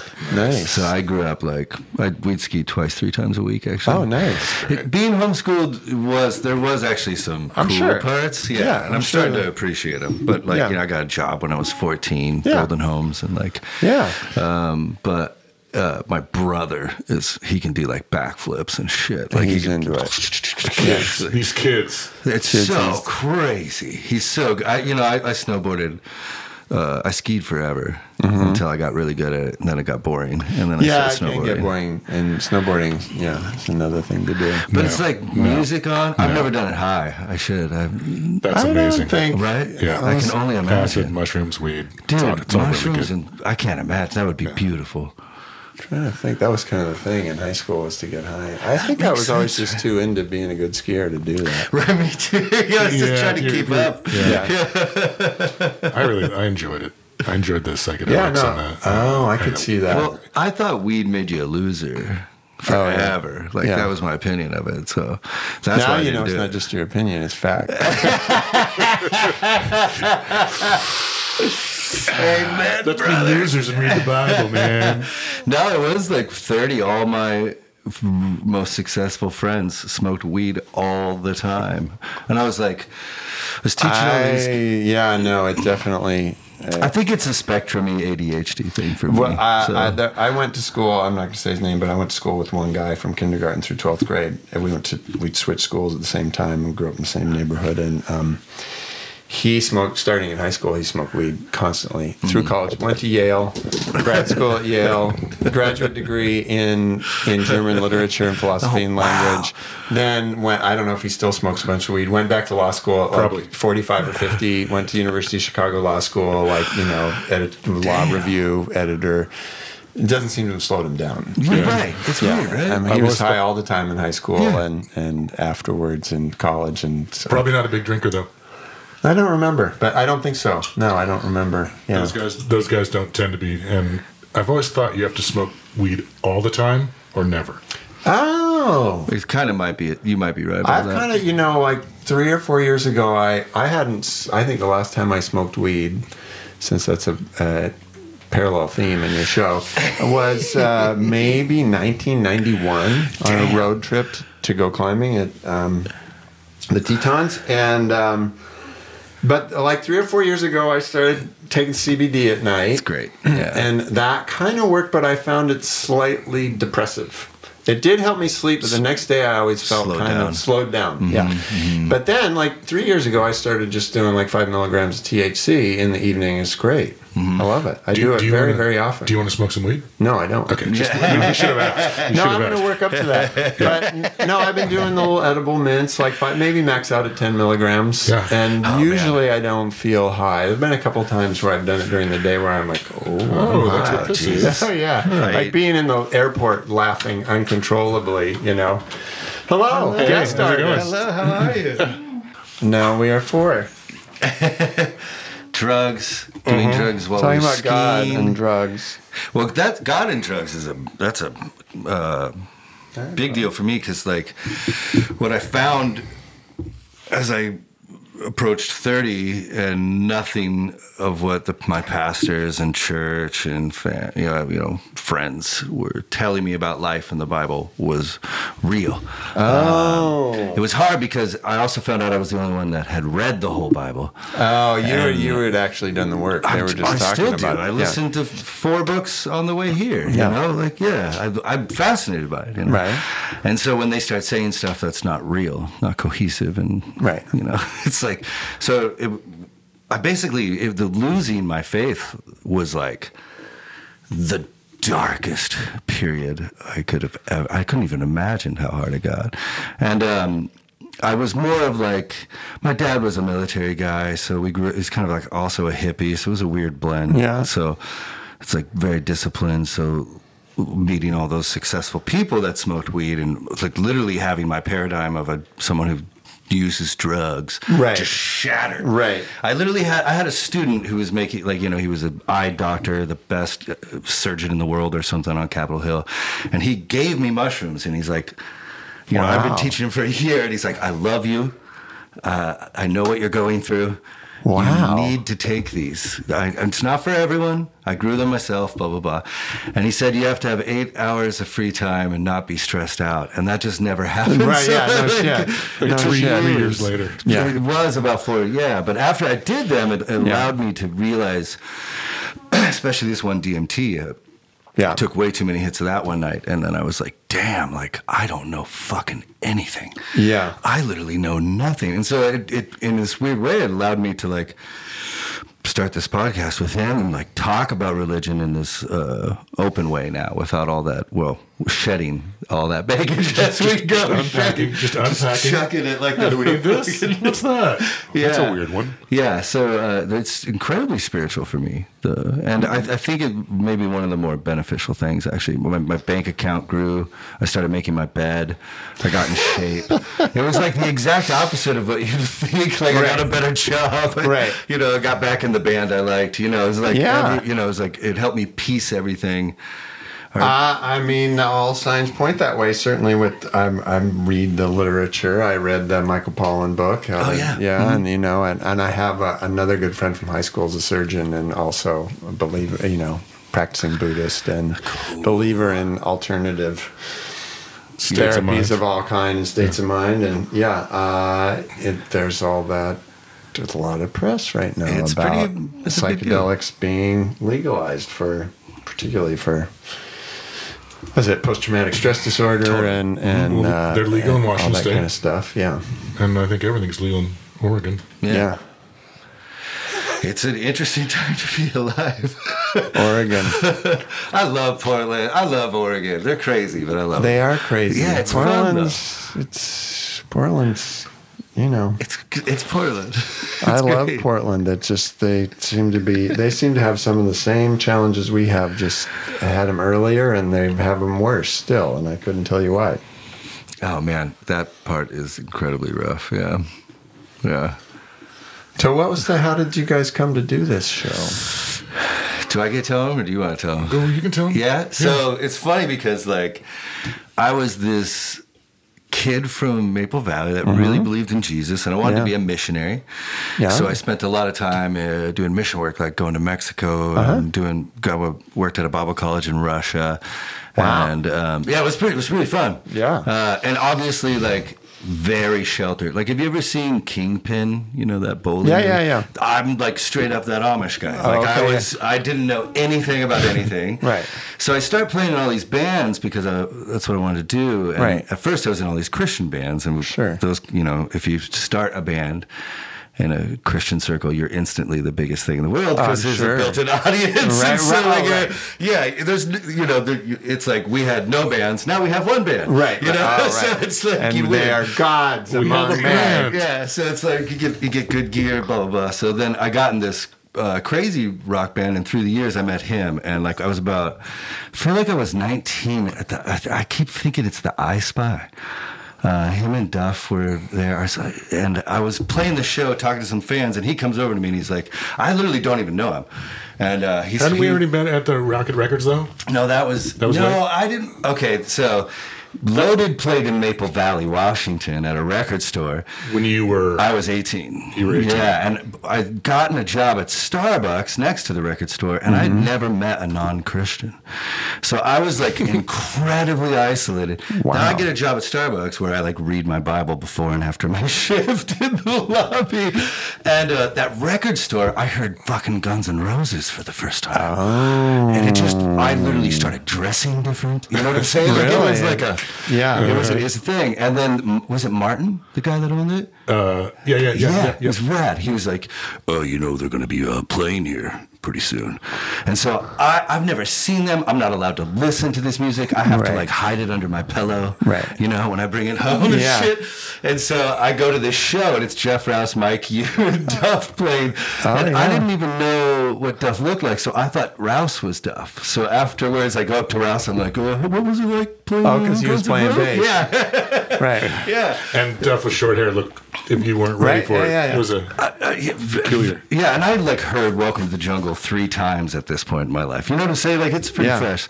So two years later, I'd like gotten into 15 bands in Seattle. Right. One of them played in front of him, and he just like walked over and grabbed me and was like, "What are you doing? Come over here." So he brought me into this circle of all these rock stars, and then uh, years later, I started like. I'd always work for them. I'd always like help tech and Oh, okay. go out. And in any green room, he'd be like, uh, so tell me about the Nephilim. So we would like- just be. s- As soon as I found out he like knew the Bible, like, what about this? Yeah. What about this? So you guys What about just this? get Yeah, into we're like, oh, that's Genesis 5. Yeah, it's really interesting. Yeah. Yeah. yeah. We do this without the weed, though. Yeah. Yeah. Well, and I was like still saving myself for marriage. Back And I was then. probably drunk Yes. Yeah. if it was after a show. Yeah. Well, there was not much rock and rolling for me back then. It was a lot of just reading the Bible and playing guitar. Like I was. But obvi- I mean, you obviously got good at guitar. So what was the? You were hearing some music, and you were. Oh, I was full in once I started get. I I started playing for this guy Burke Thomas. He played in that band Priss. He's Oh yeah, yeah. yeah. So I was a bass player in Priss. Okay. And so once I got with him on tours, he'd play all this cool music. Mm-hmm. You know, and that van uh, is like this weird sacred place to me now. Yeah. I'd never With thought your, I would. tr- have- It was your college of musical knowledge. because whoever's driving is going to be DJ, and Right, you're going to hear like Everybody has the different- Smiths, the Misfits, like Right. you know, even Erasure, Echo and the Bunnymen, Yeah. you know, like um, the Refused, like all Mm-hmm. these, you know, it's like I've never even heard music like that. I've, I, Pink Floyd, Yeah. I'd never heard uh, Dark Side of the Moon until I was on tour. Oh dear. Isn't that crazy? Yeah, it was weird. Good thing you went on tour. It was very yeah, it was really important for me. So, what's your relationship with your family and all this like now? And it's that- interesting that you bring that up. Uh, yeah, it's since the podcast not so good. Yeah, yeah. Oh, since the podcast. Yeah, they well, you listened to know. the podcast and decided that you're not okay, or Uh, Yeah. I mean, when I so I was in very active in this church that I grew up in. I was like a youth leader, uh, led worship. Mm-hmm. Was what they call a deacon. I signed I signed the paper that I wouldn't dance. wow. Yeah, because Southern Baptists. Well, you haven't danced so far I today so uh, that I that I'm aware of that Yeah, I've I was seen. dancing on the way here, actually. Yeah, so I guess I'm sinning. But Yeah. yeah, and so uh, you know, for me to express my real views on things uh, now, Oh. well, I especially give you coming I from give that you is- some points for cojones to just do it. Well, you know, the problem is, is a lot of the uh, theology and teachings that I grew up with are unfortunately just dogmas. Mm-hmm. Right. And there was something that, an, you know, a person with a really great heart, possibly, most likely these pastors, have heard from other pastors. Sure, yeah. And they, I guess they didn't bother to check in. It was a lot harder to read ancient Greek back in the day, but now they have like Bible Hub, and you can go look at every translation forever. Yeah. And now we have, you know, textual criticism. And so when you start digging into like the Bible is inerrant. Right. um, and you like find out that that's completely wrong. Yeah, see, my my, I mean, I mentioned that uh, class in my senior year in high school was a great sort of overview humanities class, and uh, while we read the Bible, we read a book. I can't remember if I don't know if it's still well known. It's called God Wrestling. It's just about wrestling with your faith. So we were approaching it from, a, and obviously, I was not in a faith-based school or environment, so um, it was a completely different approach. But you know, sort of more coming from the unexamined life is not worth living, whereas mm-hmm. you know, fundamentalist religion can be exactly the opposite, right? Oh, Don't It's actually- ask questions. Don't. I get in a lot of trouble. I came. I came to. from the ask as many questions as, but you know, the extra credit for asking more questions kind of culture. That's- both that- familially Yeah. and and in scholastically. So I had a lot of support and kind of just being the why, why, why, why, why. Well, that's that's what was so confusing about my upbringing is that my dad was is like this really smart, you know, sort of right brain guy who's also a mechanic and like and flies planes and and but he is the Catholic and he's like devout and has faith. That's interesting. And and that was just with like Catholicism. I don't fucking understand. Well, how can you buy? You know, mm-hmm. like even now, even you know, he's eighty six now, and he's still, you know, it's just. I it's, have a it's- couple friends who it's like are fit that who are our age who ah. fit that who are super super smart su- you know like Stanford Business School super successful and they're like devout Catholics and I'm you know there's an there's a tension there that I'm not sure I can resolve I mean, what's wrong with the Elks or, or like or the Masons or something? You know, Yeah. it's like Yoga. at least they're not. or just or just you do hot yoga. band practice one night a week yeah, yeah, yeah. Why is it got to be like this this multinational corporation? you're it's funding? pretty weird Oh, it's Yeah, pretty weird We rail on it almost every time. Actually, it's pretty. We've gotten out of the habit. We We've should, got- we should get back into We that. should get back into it. I, th- I mean, uh, there's the social fabric, cultural value, which is, a, I mean, that's the whole thing. Because I've thought, I mentioned one of my two best friends from high school has been a practicing Buddhist for a long time. And I, I even though I've meditated a ton in a Zen mode, I guess you'd say, and read tons of Buddhist philosophy and literature, I can never say I'm a fucking white guy from North America. like that is not culturally. I'm always going to be like a Martian, right? Buddhism is not. I mean, I'm a Christian culturally. Period. Right. That's my my culture. Geographically. Geographically, speaking. really academically, if you think of the academic tradition that I got educated in from Totally. preschool through graduate school, Totally. is a Judeo-Christian approach, and so the idea of like trying. So to me, it's as much about, and then the church stuff I have been involved in, you know, just weddings, funerals, uh, baptisms. It's about the community, right? It's a Yeah. community Yeah, but- And that gathering part- place. Well, and we don't bash that part. Like that, we Yeah, understand We, we think that's broken. We're trying to fix it. See, I mean, at least in the way I grew up Mm-hmm. with it, that is actually toxic. Right. I mean, that's the interesting thing about That's the well, interesting isolationist thing. fundamentalist thing is Yeah. is that you know They're well-intentioned people are there, and I've met many, many, many great human beings through these churches. But- well intentioned. Uh, right. Like, but their intentions are faulty. Like their Well, they just want to do good, but they don't have enough well, they want to save your skills. soul, and your soul's not really in danger. right. You know, so it's like foundationally, there, there, there's That's this primary. delusion. Well, Right. right. and then it becomes these echo chambers where it's like delusion. right. It's an echo chamber, right? Because Yeah. it's such an ecstatic experience, church. I think it's beautiful. Isn't Like, that the new System of the Down? Uh, System of the Down album title? Systemic delusion. But they sound so good. Because you wanted to. I remember that uh, when that record that was all huge came out, our drummer was listening to it, and he was arms folded in the van after a gig, and he's like, "Fuck." You know, because he thought it sounded amazing. And Yeah. he hates the band. Oh, You know, it's like we hate this band, but those fucking records slap. Those records are fucking Okay, that's a completely unrelated topic. Band you hated till you didn't hate them, like because you saw them, or because I have, I have one. Swift. Uh, I'm not surprised at all. I've heard Taylor that Taylor fucking Swift. God she damn. writes great songs. You can't hate Taylor Swift. You can hate the p- persona, but you can't hate Well, the I song. She's the written too many she- good songs. Dude, She knew so that good. I sung into a, a hairbrush sometimes when I was, you know what I'm saying? Like She that was too you- personal you. for me, and so I had to hit. it. I was like, "Fuck Yeah. you." Yeah. But then, like you know, I'm driving and I'm like, this song comes on that I uh, like, t- you know, shake it. Oh, and Oh, I'm yeah, like, yeah. damn, this is like a perfect pop song. Yeah, it Well, really is. and, And if then you, and if you don't like her, just listen to Ryan Adams' 1989. Because he takes every one of those songs Right, right, yeah. and crushes it because Yeah. it's a great Yeah. song. Yeah, Sad what she wrote great songs. Sad There's some. fo- I, I, yeah. There's a great some footage of her just playing a guitar, singing five or six songs by Right. herself. Yeah. And her guitar playing is rudimentary, but it doesn't matter because the songs are great. And her, her Yeah. and she doesn't have the best quote. I'm making the rabbit ears right now. She doesn't have the best voice in terms of pitch and I tunefulness, but it doesn't matter. Her voice is cool, Yeah. and um, And she she's writes got songs. attitude. She writes great songs. Yeah. So Yeah, she's yours? Mine was uh, I I thought of it for some because we mentioned System of a Down, and in the early to mid '90s, I thought Rage Against the Machine was the stupidest fucking band on earth.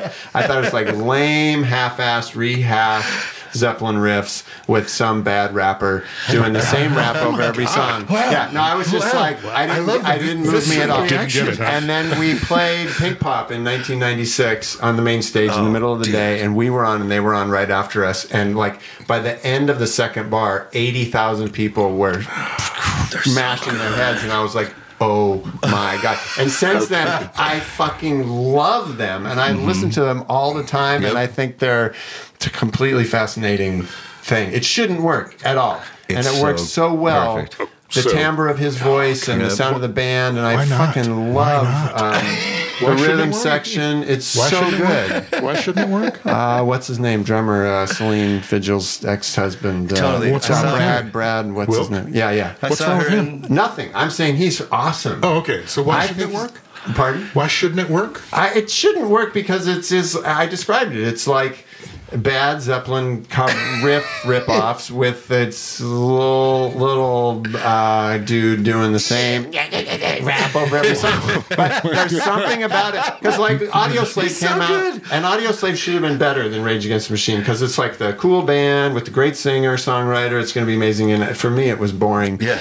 Whereas just Rage Against the Machine, the sound, the timbre of his voice and his attitude when he's spitting out the So lyrics over good. their groove, it's just like magic. Yeah. It's just like instant. I don't know why I didn't. Hear, I didn't hear it until like two bars into that first song when they came on after us. I was on the side of the stage. I was like, "Holy shit, this is good." Yeah. And since then, yeah, Brad Wilk and Commerford, what's his name, the bassist, what they lay down is just. It's in, it's in, it's in the. That's at that's at the level of Alex Van Halen and, and Michael Anthony, where it's so easy to underappreciate, where it's so good. so good. so and- good. I mean, and the guitar player. I mean, nobody does that. No, You he know? has completely his He- own approach. Love it or hate it, he's got his. I, and I love his ge- geek, guitar geeking out. He's used the same guitar, the same amp, and the same say. like four effects Yeah, for it's a PV 35 years, which I thought and you was can't- super cool. And, and all, and you can definitely tell it's him, yes, which is That's you what know I was like about to say. Well, And that's the main thing, Dude, he as is. No one realizes how good he is at guitar because he does all these like showboaty effect, like But- Yeah, Digitech but stuff. the- But when he plays like a chord, it Oh, no, sounds he's so good. Like yeah, no, when he he's just, and the, he's paying like, attention. it's so good. and the what, what's the the Audioslave? Those hits are amazing. They are good. like they are good. m- toned down Soundgarden, whatever. They're No, fucking they are tear good. jerking. No, they're like good the, stuff. The, highway one, whatever. The Yeah, like Great a song. That, they it's are like, great songs. I didn't mean to undersell those songs. It's just I that there's it. something. Well, no, I mean, yeah, in, in, the, You're actually right. There's the- When he something said it, that spiel, it magical. There's yeah. something magical about the four of them with Zack de la Rocha doing his thing. Over, and I've heard sure, that people who sure. saw them at some of their first like house parties in LA, like it was there from the start. Like Yeah. They just Yeah. came on stage and it was just a juggernaut. Ty was telling me like because they'd done a tour with them in Europe or whatever, and they came back oh. and they played Rock Can. He's like, he was calling everybody ah, he knew. dude. Right. Unfortunately, that wasn't me. Right. But I, I've never seen it. And now, Oh my they, now God. they want like four That's still dollars. the only time I've seen them, and they were, you know, it was in front of eighty thousand drunk Dutch people, and it was just so killing. I've got a worse. I've got a worse version of Yeah, that. we need your which Yeah, which your, and I I didn't. I couldn't think of one until you said yours. I'm like, oh, okay. Well, then I have to say. So we played download on Mm-hmm. yeah. the on the on a side stage, yeah. and uh, well, two. Korn. Yeah. Korn was like I, we did a bunch of shows with them, and watching them do like the whole one of the sides of the wall Mm-hmm. wow. Was phenomenal. That's pretty ballsy. Yeah, and it and it was like like I was never a Korn guy. Yeah. No. um, Actually, I was. But the minute, one that like really unfortunately. minus the vocalist. Mm-hmm. Limp Bizkit. Wow. Dude. Wow. brave! Dude. How brave are Dude. you? They're such a Well, good what's his Minus- name? Wes Borland. Wes the guitar guy. Borland. He is a monster. And he a fucking, fucking- whittled his own guitar once. Like he make that thing for That him. guy's a superhero. He's a fucking Like, Yeah. I was on stage. We love you, buddy. And that guy's like, his back starts out here, and his waist Oh, is he's like, like this a huge big. guy. He He's just, just well, like he, was paint- he was painted black and oh. white, Oh. and I don't think he had a shirt on. He might not have pants on. I don't care. I was humping his leg as soon as his leg went back. I'm like, dude, that was so you're fucking great. He's like, hey, what's your name? Oh, I'm Jeff. I play with. I was, I was like, he was fucking and the band, like the drummer, like the with that. I don't give two shits about me. Whatever. Right. About They were so he they Yeah. were so, and the whole fucking place is Right. like Yeah. going crazy. I'm like, and I brought that up with the fellas in the van. They're like, they're like not having it. I'm They like, you can't even minus the fat kid. You can't even fucking yeah. give me that. Mine They're like, Fred Durst. Yeah, uh, That doesn't surprise me because if you even the recordings, which you could cheat your way through making sound good, have that. And I always thought that Okay, that keep Wes going. Borland guy How's seemed to know what he was doing. The Limp Bizkit things. That hits home. it was the. It was like I hate Limp Bizkit. Yeah, no, I, you did know, it like- all for the Nookie too. But I don't mean. I mean, it's like what a horrible song. Yeah. and what a horrible guy. Every quote you ever read from him, he's Yeah. just like, could you be any douchier? Like, Yeah, but the, man- and the answer is no. no, he None Yeah. more douchey. yeah. Uh, But that band can play. They were so good. and and like they're not just hits because he says stupid stuff over them. right. They're They- hits because that band writes good songs. No, I think that's. I mean, we uh, we were talking about this right when we started. The Cream does. Yeah. Most people who get traction are good. Yeah. It's not. I mean, eventually, the good stuff does kind of. Yeah. And sometimes even things that you don't think are good, then you see it and you're like, Yeah. oh, I get it. To they be actually clear- know what they're doing. Maybe it's not my thing, but to be clear, Fred Durst is a douche. right. This is, this is in no way propping up Fred Durst. I guess I wonder if he'll he probably want to be on the show now if he hears that. He'll want to He's come very in. welcome. So, you know, get a hold of. Ask Keith Nelson. Oh, is he religious now? I don't know, maybe, but he'll want to Yeah, be. ask Keith. We'll have to go through Keith. yeah, he can if he wants to Yeah, get on. if Keith wants to come on with him. if Keith, Vindicate if himself. Keith says it's okay, We're Team Keith. because he calls the shots for all those guys. Yeah. Yeah. Oh, Locks on the other side. That's too bad. So, do you guys cut this? Do you just run it? Do you- He edits the shit out of it. Yeah, well, I I try not to edit the episodes as much as I can, but I do. Yeah, Um, a lot of. I wonder. You know, my I listen to almost every. I think Bob Lefsetz is the best interviewer out there right now. Do you? Do you, I don't know. Do you get his newsletter or listen to his podcast? So the Lefsetz letter is this industry newsletter that he started in the paper letter era in the '90s, and it's an email. You should go Bob Lefsetz, and then he does podcasts. He interviews mostly music business people, Oh, but cool. some, you know, like he has Chris Blackwell from Island this week. uh, he's good to listen to for. He, he asks all the questions you wish interviewers would ask. Like, so what were you like? In, you know, were you as a kid? Were you popular? What did your parents do? Where did you grow up? Yeah, yeah, yeah. Uh, so if you stopped working today, would you, uh, you know, are you rich? Are you poor? Would you, can, you know, do you have to work? Are you on tour because you have to work, or are you on tour because you like to play? You know, Damn. like all from that one song. Is that enough to, let you know? He's worth listening to. That's cool. that yeah. sounds awesome. But I always wonder when I, that's the podcast I listen to most often, just how edited most of them are. Yeah. A lot of them aren't very edited. No, that's my experience. That's the best. Uh, Yeah. We'll edit out the part where my I quit my job. You did? Yeah. because you were unhappy. Uh, it was just time to do something different. I've had five or six careers, and I was doing the digital music thing for 15 years, and I Oh, was yeah, at wow. Amazon for almost 10 years, and it was just You at Amazon? yeah.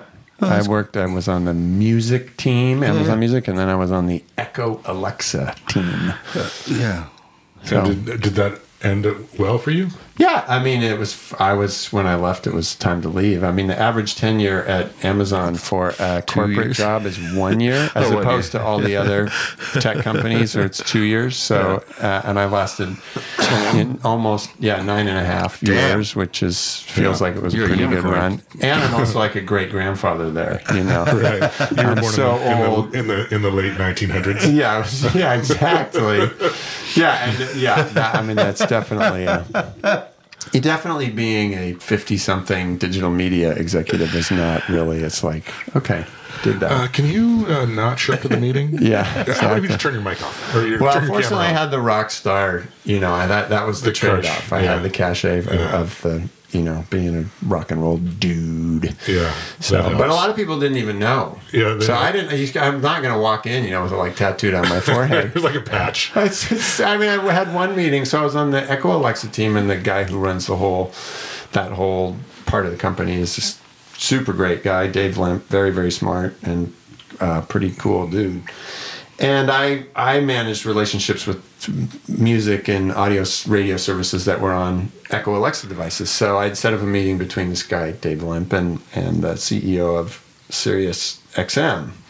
Um, and it was the two of them at the like CEO level and me just in there to introduce them and get start the meeting and they're like and then they come in and they're like oh Dave's like oh, I love Howard Stern's amazing oh and they're like blah, blah oh yeah Howard blah blah blah blah blah and I'm like oh yeah I was on Stern once and they both look at me like I'm from fucking Pluto Not even Mars. what? No, no, like way, maybe not even a planet. You know, like what?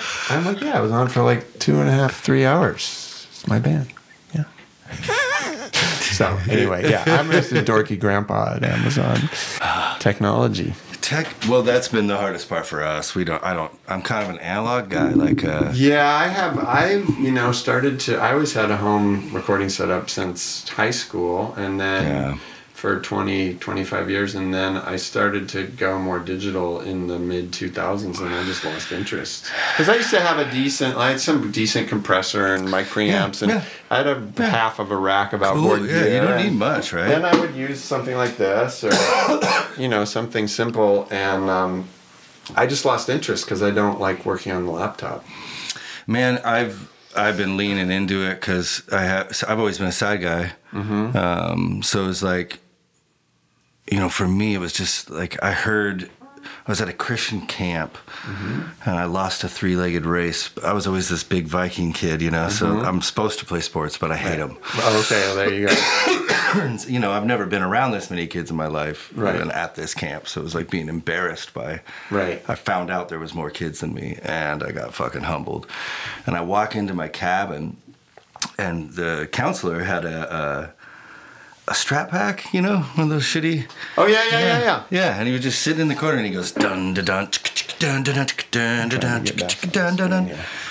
And he just played the riff from Smells Like Teen Spirit, and I'm I'm not allowed to listen to secular music, Right. You know, so I've never I've heard Weird Al, but I've not heard any. I'm, I'm not allowed to listen to Black Sabbath or Pearl Jam. Like Right. if I listened to the end, my radio would get taken away for like a week. Wow. Yeah. So when when he did that, I was like, I, my mind exploded, and I grabbed his arm, and I was like, I don't care what that was, but that's the only thing I care about.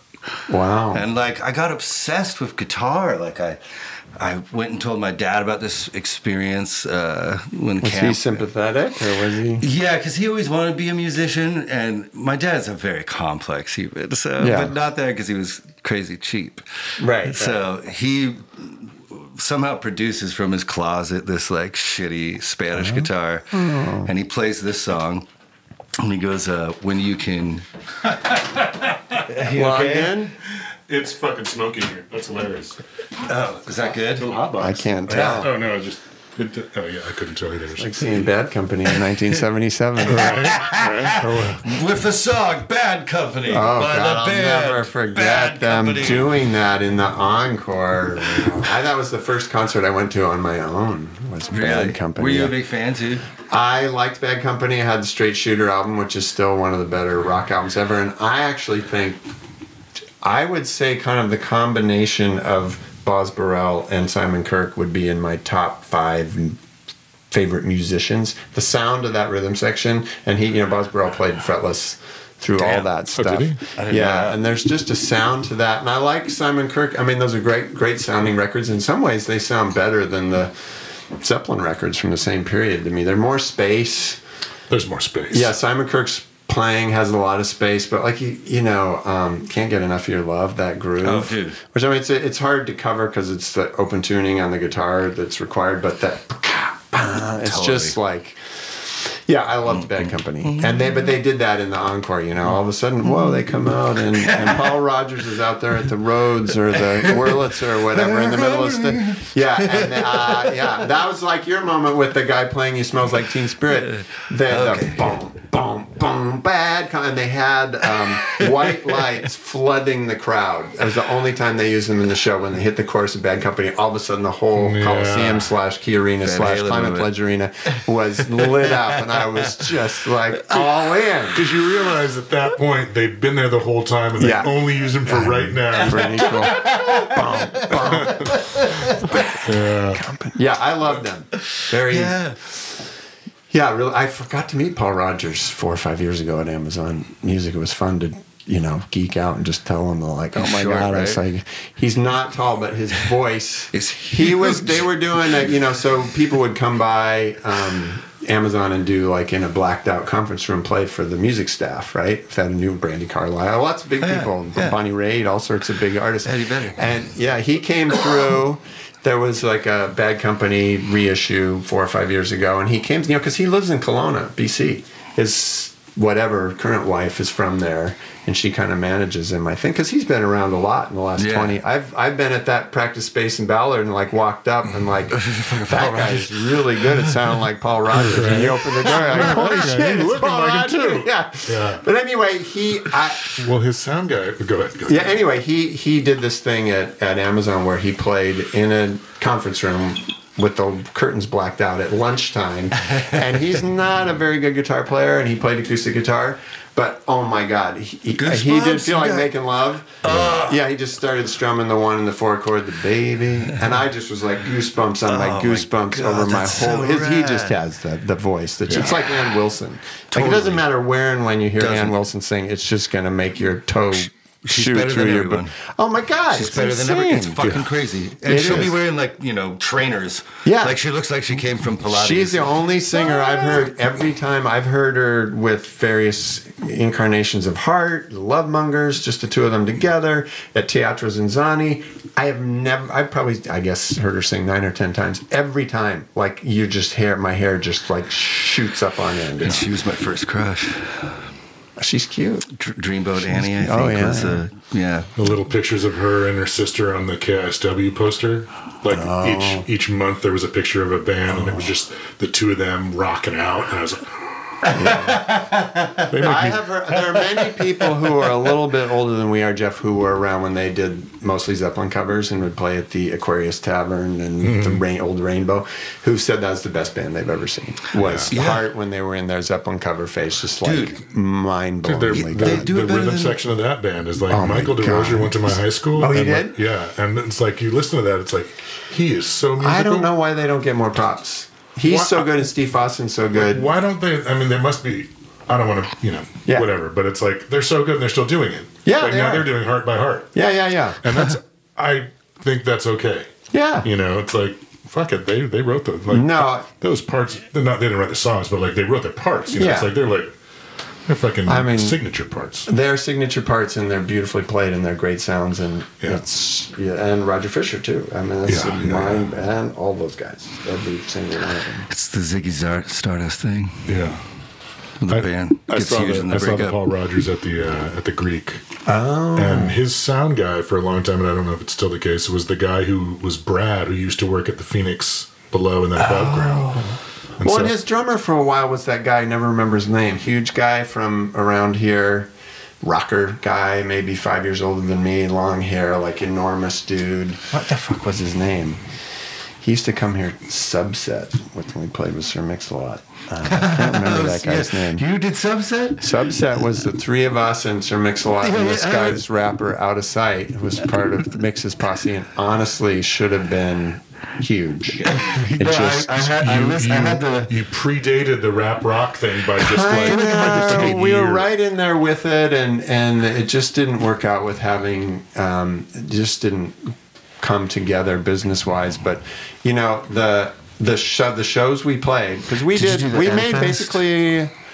I don't think we Deck the did. Whole Ball, maybe? No, we did a bunch of shows and we did a little tour down the West Coast. We played the Phoenix Underground a couple times. We played the Crocodile, um, and um, it was. There's an album worth of material out there that we were talking about releasing as an NFT in the last six months, and I, and it was I think it was concurrent with Napster '99 2000, and I think it So, did yeah, get downloaded a lot on Napster, um, but you know there were you there were shows with the presidents that were kind of crazy fun like when we were blowing up locally and we'd play the crocodile and there'd be 600 people inside and a thousand people outside.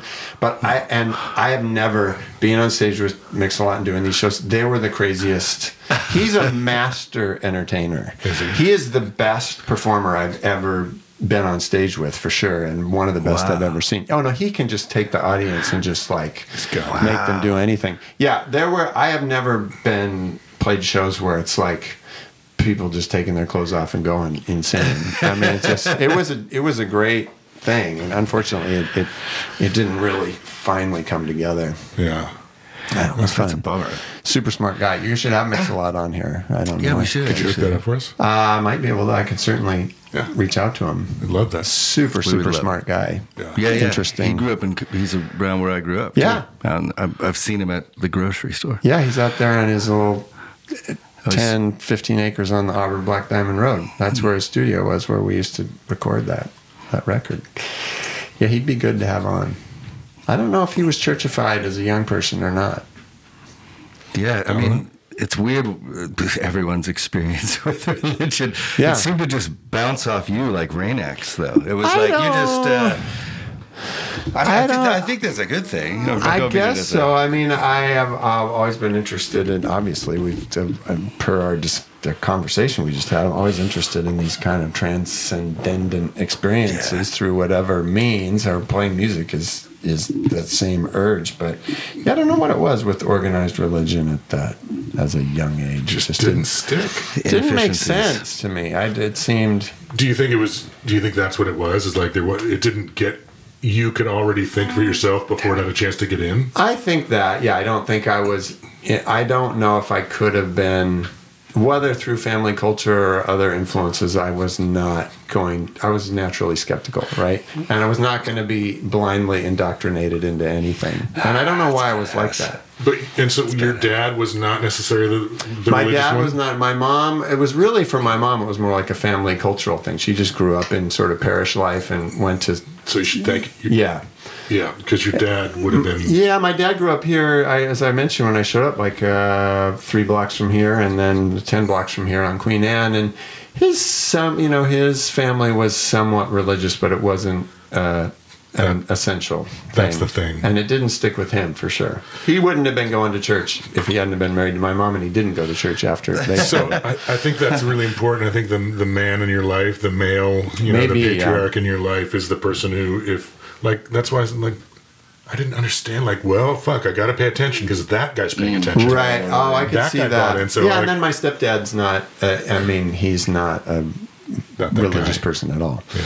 So uh, yeah, that's not his I think thing. you got real lucky, but also it could be that you know you're don't just know. too smart for those guys to hoodwink you like that. I don't know. I don't know. I, I couldn't really say. I just didn't feel like a good use of my time. I guess when I was in like fourth grade or whatever, I was like, I think I remember my rationale was like they teach us the same thing every year, and I, I don't really know. I heard you. yeah, I heard you. I get it. I understand what we're learning, but I don't need to learn it every year forever. And it doesn't, it's not that meaningful. Yeah. Don't know what. And and to uh, to her credit, my mom was like, okay, you know, if that's she. I had sort of a rationale. I had a thought out rationale for why I didn't want to do it, and that was Right. she honored that, respected it. But you already had had your first communion, so you're sort of like safe I on was. I must be. Yeah, first communion was probably right in there at the same time. I uh, I don't know. So your soul is safe, and Ed's soul is safe. Ed's fine. Yeah, Yeah. Ed's going to be just fine. And I my had, soul is. I had communion, but it wasn't my, you know, like I had a first communion, but it wasn't like I was never confirmed. I didn't get confirmed. That's a little bit later. I think usually more like high school age. Isn't that the same? What is confirmed? Mm, I I thought don't that think you, so. I thought you're not supposed to have your first communion until you're confirmed. I, I- who knows? Clearly, we are highly Not lapsed the ones that- Catholics. Yeah. Confirm, confirmation is like it's around high school. No, so Yeah. yeah, it can't be your first communion. Yeah, Yeah. No. yeah. You just have to know. You have to be able to say. Yeah, you ah. have to be able to do the catechism, or you. I think there are certain. That makes you know, sense. Yeah. But, but confirmation is like I will put butts in seats and I will give you ten percent. Oh, Yeah. that makes more sense. Yeah. you have to like. You, I don't know if there's a contract or is it just a, a verbal contract with you and your, that's. your and the an- I mean, obviously, that's the interesting part of organized religion is the. Oh, yeah. The, There's the a racket. Oh, I yeah. think about it a lot with the Oh, shit, LDS church, just because the tithing is. I can't remember what they're supposed to tithe in. in Dude, if you're gonna choose a church, that's the one. I- that's- community. Everybody gives the They're the nicest Yeah. people ever. you know, and Yeah. like why? And maybe not the best story, but it's still you know. But but it's, it's, they got they got it right though. Like they're like we stick with our own, make really beautiful people. I just watched a documentary on Netflix that is not doesn't really flatter paint the- this way you're saying, but I agree with you because they're, they're really hey, like- we didn't recognize that black people weren't animals until 1978, but otherwise we're great. Otherwise, you know, solid. Yeah, otherwise You know. solid. Yeah, seventy-five wives. You know, things Yeah. like this. There's some abuses of religion. That's Well, the- and- the- the- critical thinking is important, and it's not really allowed in a lot of these circles. It's really. I got baptized in a river out back behind my house. Which river? The Cedar. Green Cedar. Yeah, Nice. yeah. I grew up on that actually. Nice. It was in my backyard. Sweet. It was sweet because I could I could work construction. Mm-hmm. Like I didn't go to high school; I just worked construction, and then I'd be all sleepy. Uh, but I wanted to like play guitar and like Mm-hmm. or if, go out with my church friends. You know, go read the Bible. Church rage. so you get home from work, you'd be exhausted. Like you know, it's all hot out. Jump in the river. Just walk up the river, jump Yeah. in, float down for a little bit. It's so cold. oh, I like it. By the time you get out, you're like, I'm ready to party, party with God, Party with the Bible. Oh yeah, there, actually, the community part is really cool, and like, Yeah. my family grew up in this. It's best described like, have you seen that movie Fight Club? Yeah. That's kind of like the house we grew up in. Yeah. it was like it rained inside, it was falling down, and we were building it all ourselves. So Right. like, we poured the foundation. We Yeah. it was horrible, and a lot of these people from the church would come over and help. Yeah. and when we didn't have enough money, they'd fill up Yeah. you know the fridge but at the same time you have to agree with and partake in and speak the way they speak about things you have to view the bible the way they view the bible Right. and if you ask too many questions you get in trouble Then you're then you don't get the your roof fixed I Or got the, or the full fridge. or the full Yeah, the, in fridge. fact, I think it was when I got in that bigger band because they were a non-Christian band. The whole church got together and prayed that we would fail. Praying for failure is really not. That's kind of like you know cheering when the other team makes a mistake. That's kind of kind of bush league. It is Bush League. Praying for anybody's failure is that that's a, that's the that, that's definitely That's over the, line for me. Yeah. Yeah, it's it's a bummer, and you know, uh, I think spirituality, like you know, if this But, But- might, might make might, might make a great T-shirt. Yeah. Pray for failure. Pray for failure. TM. Yeah. We got a bunch of we got a bunch of merch ideas from this show. Pray That's for a good failure. one. Pray for, Oh, yeah. pray for There's- failure is a good. there's Jesus bongs coming. There's a Yeah. lot. What's- what there's was a uh, lot of merch was the, coming down the um, uh, the, uh, the Wine of the wrath for fornication. that one. We That was, wine of the wrath of fornication. Like But also, what was the original one? The, um, the, uh, the oh, spoils of uh, the spoils of Babylon. uh, spoils of the of the of Babylon. It's like Yeah, spo- yeah. what's the whole Um, I can't something remember something now. the spoils of Babylon. I can't remember now. Enjoying the you know like Well, 'cause I- immersed in the spoils Immersed of in the whatever. spoils of Babylon. There's It's in the Bible. We'll find it. It's the it's Shadrach, Meshach, and Abednego. There we go. These Pray three men failure. taken away from uh, the Babylonian conk. You know, they get conquered, so they get taken Mm-hmm. off to Babylon, and uh, they don't partake in any of the shit that like eat sac- meat sacrifice to idols. They, they they stay true to Yahweh, and then when they get thrown into a furnace, they don't burn up. It's pretty dope. It's pretty cool, man. yeah. Yeah. Just come out Once you realize you're not going to be slightly sooty.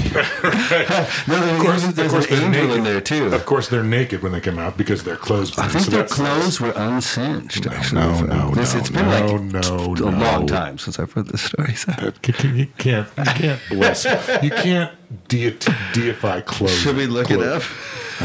no, You know, no, we've lost. We've lost these two cameras, so we maybe should. Maybe We should lost them. Yeah. When did they stop? When, I don't know when they That stopped. one, uh, that I'm kind of, going. I'm kind of on that one. Yeah. Hi, camera, wherever. Yeah. Yeah, let's. We can wrap it up. We can say goodbye. Yeah. Well, we got on. Yeah. There'll just be a picture of Dave on the front after. Dave TV. Well, Dave, thanks, uh, uh, Yeah, thanks for for being coming here. That's great. man. That was great. Yeah, thank you. Thank That's you. a fun really appreciate conversation. It's the It's fun first to hang out. Live. Oh no, we well, it'll be the first live Get High and Read the Bible that we've aired. I think I might have gotten a little high just being in the it. I, room. I've usually spoke about seven times this too. Oh, yeah. Yeah, I did. That's why I'm like, I can Dude. feel. I just like coming in here, seven or eight, seven or eight minutes ago. I just went. Well, if you notice, I, I brought four. I'm good. See, so I'll be taking my five milligrams of. Uh, I, I, like uh, Mr. I could. I can. Uh, where's the camera that we're on? Uh, right there. yeah, I. Mr. Moxie's mints. I enjoy the five milligram THC cinnamon. You know what else If you you want to send me 20 gross of those, just Do it. I'll give you my shipping You, address. you know what else you like? If you haven't tried them, is the Pioneer Squares. Yeah? Yeah, Pioneer Squares. yeah, they're little gels. Oh, okay. I got these. Uh, I've got about a thousand milligrams of gummies right there. I was going to eat five of them and go for it, but We're, we're opening the doors. we're, We're, opening gonna the doors. let there be light. Goodbye, people. let there be light. Let there be oxygen. Yeah, Yeah. awesome. Okay, This is a Let's great spot. on.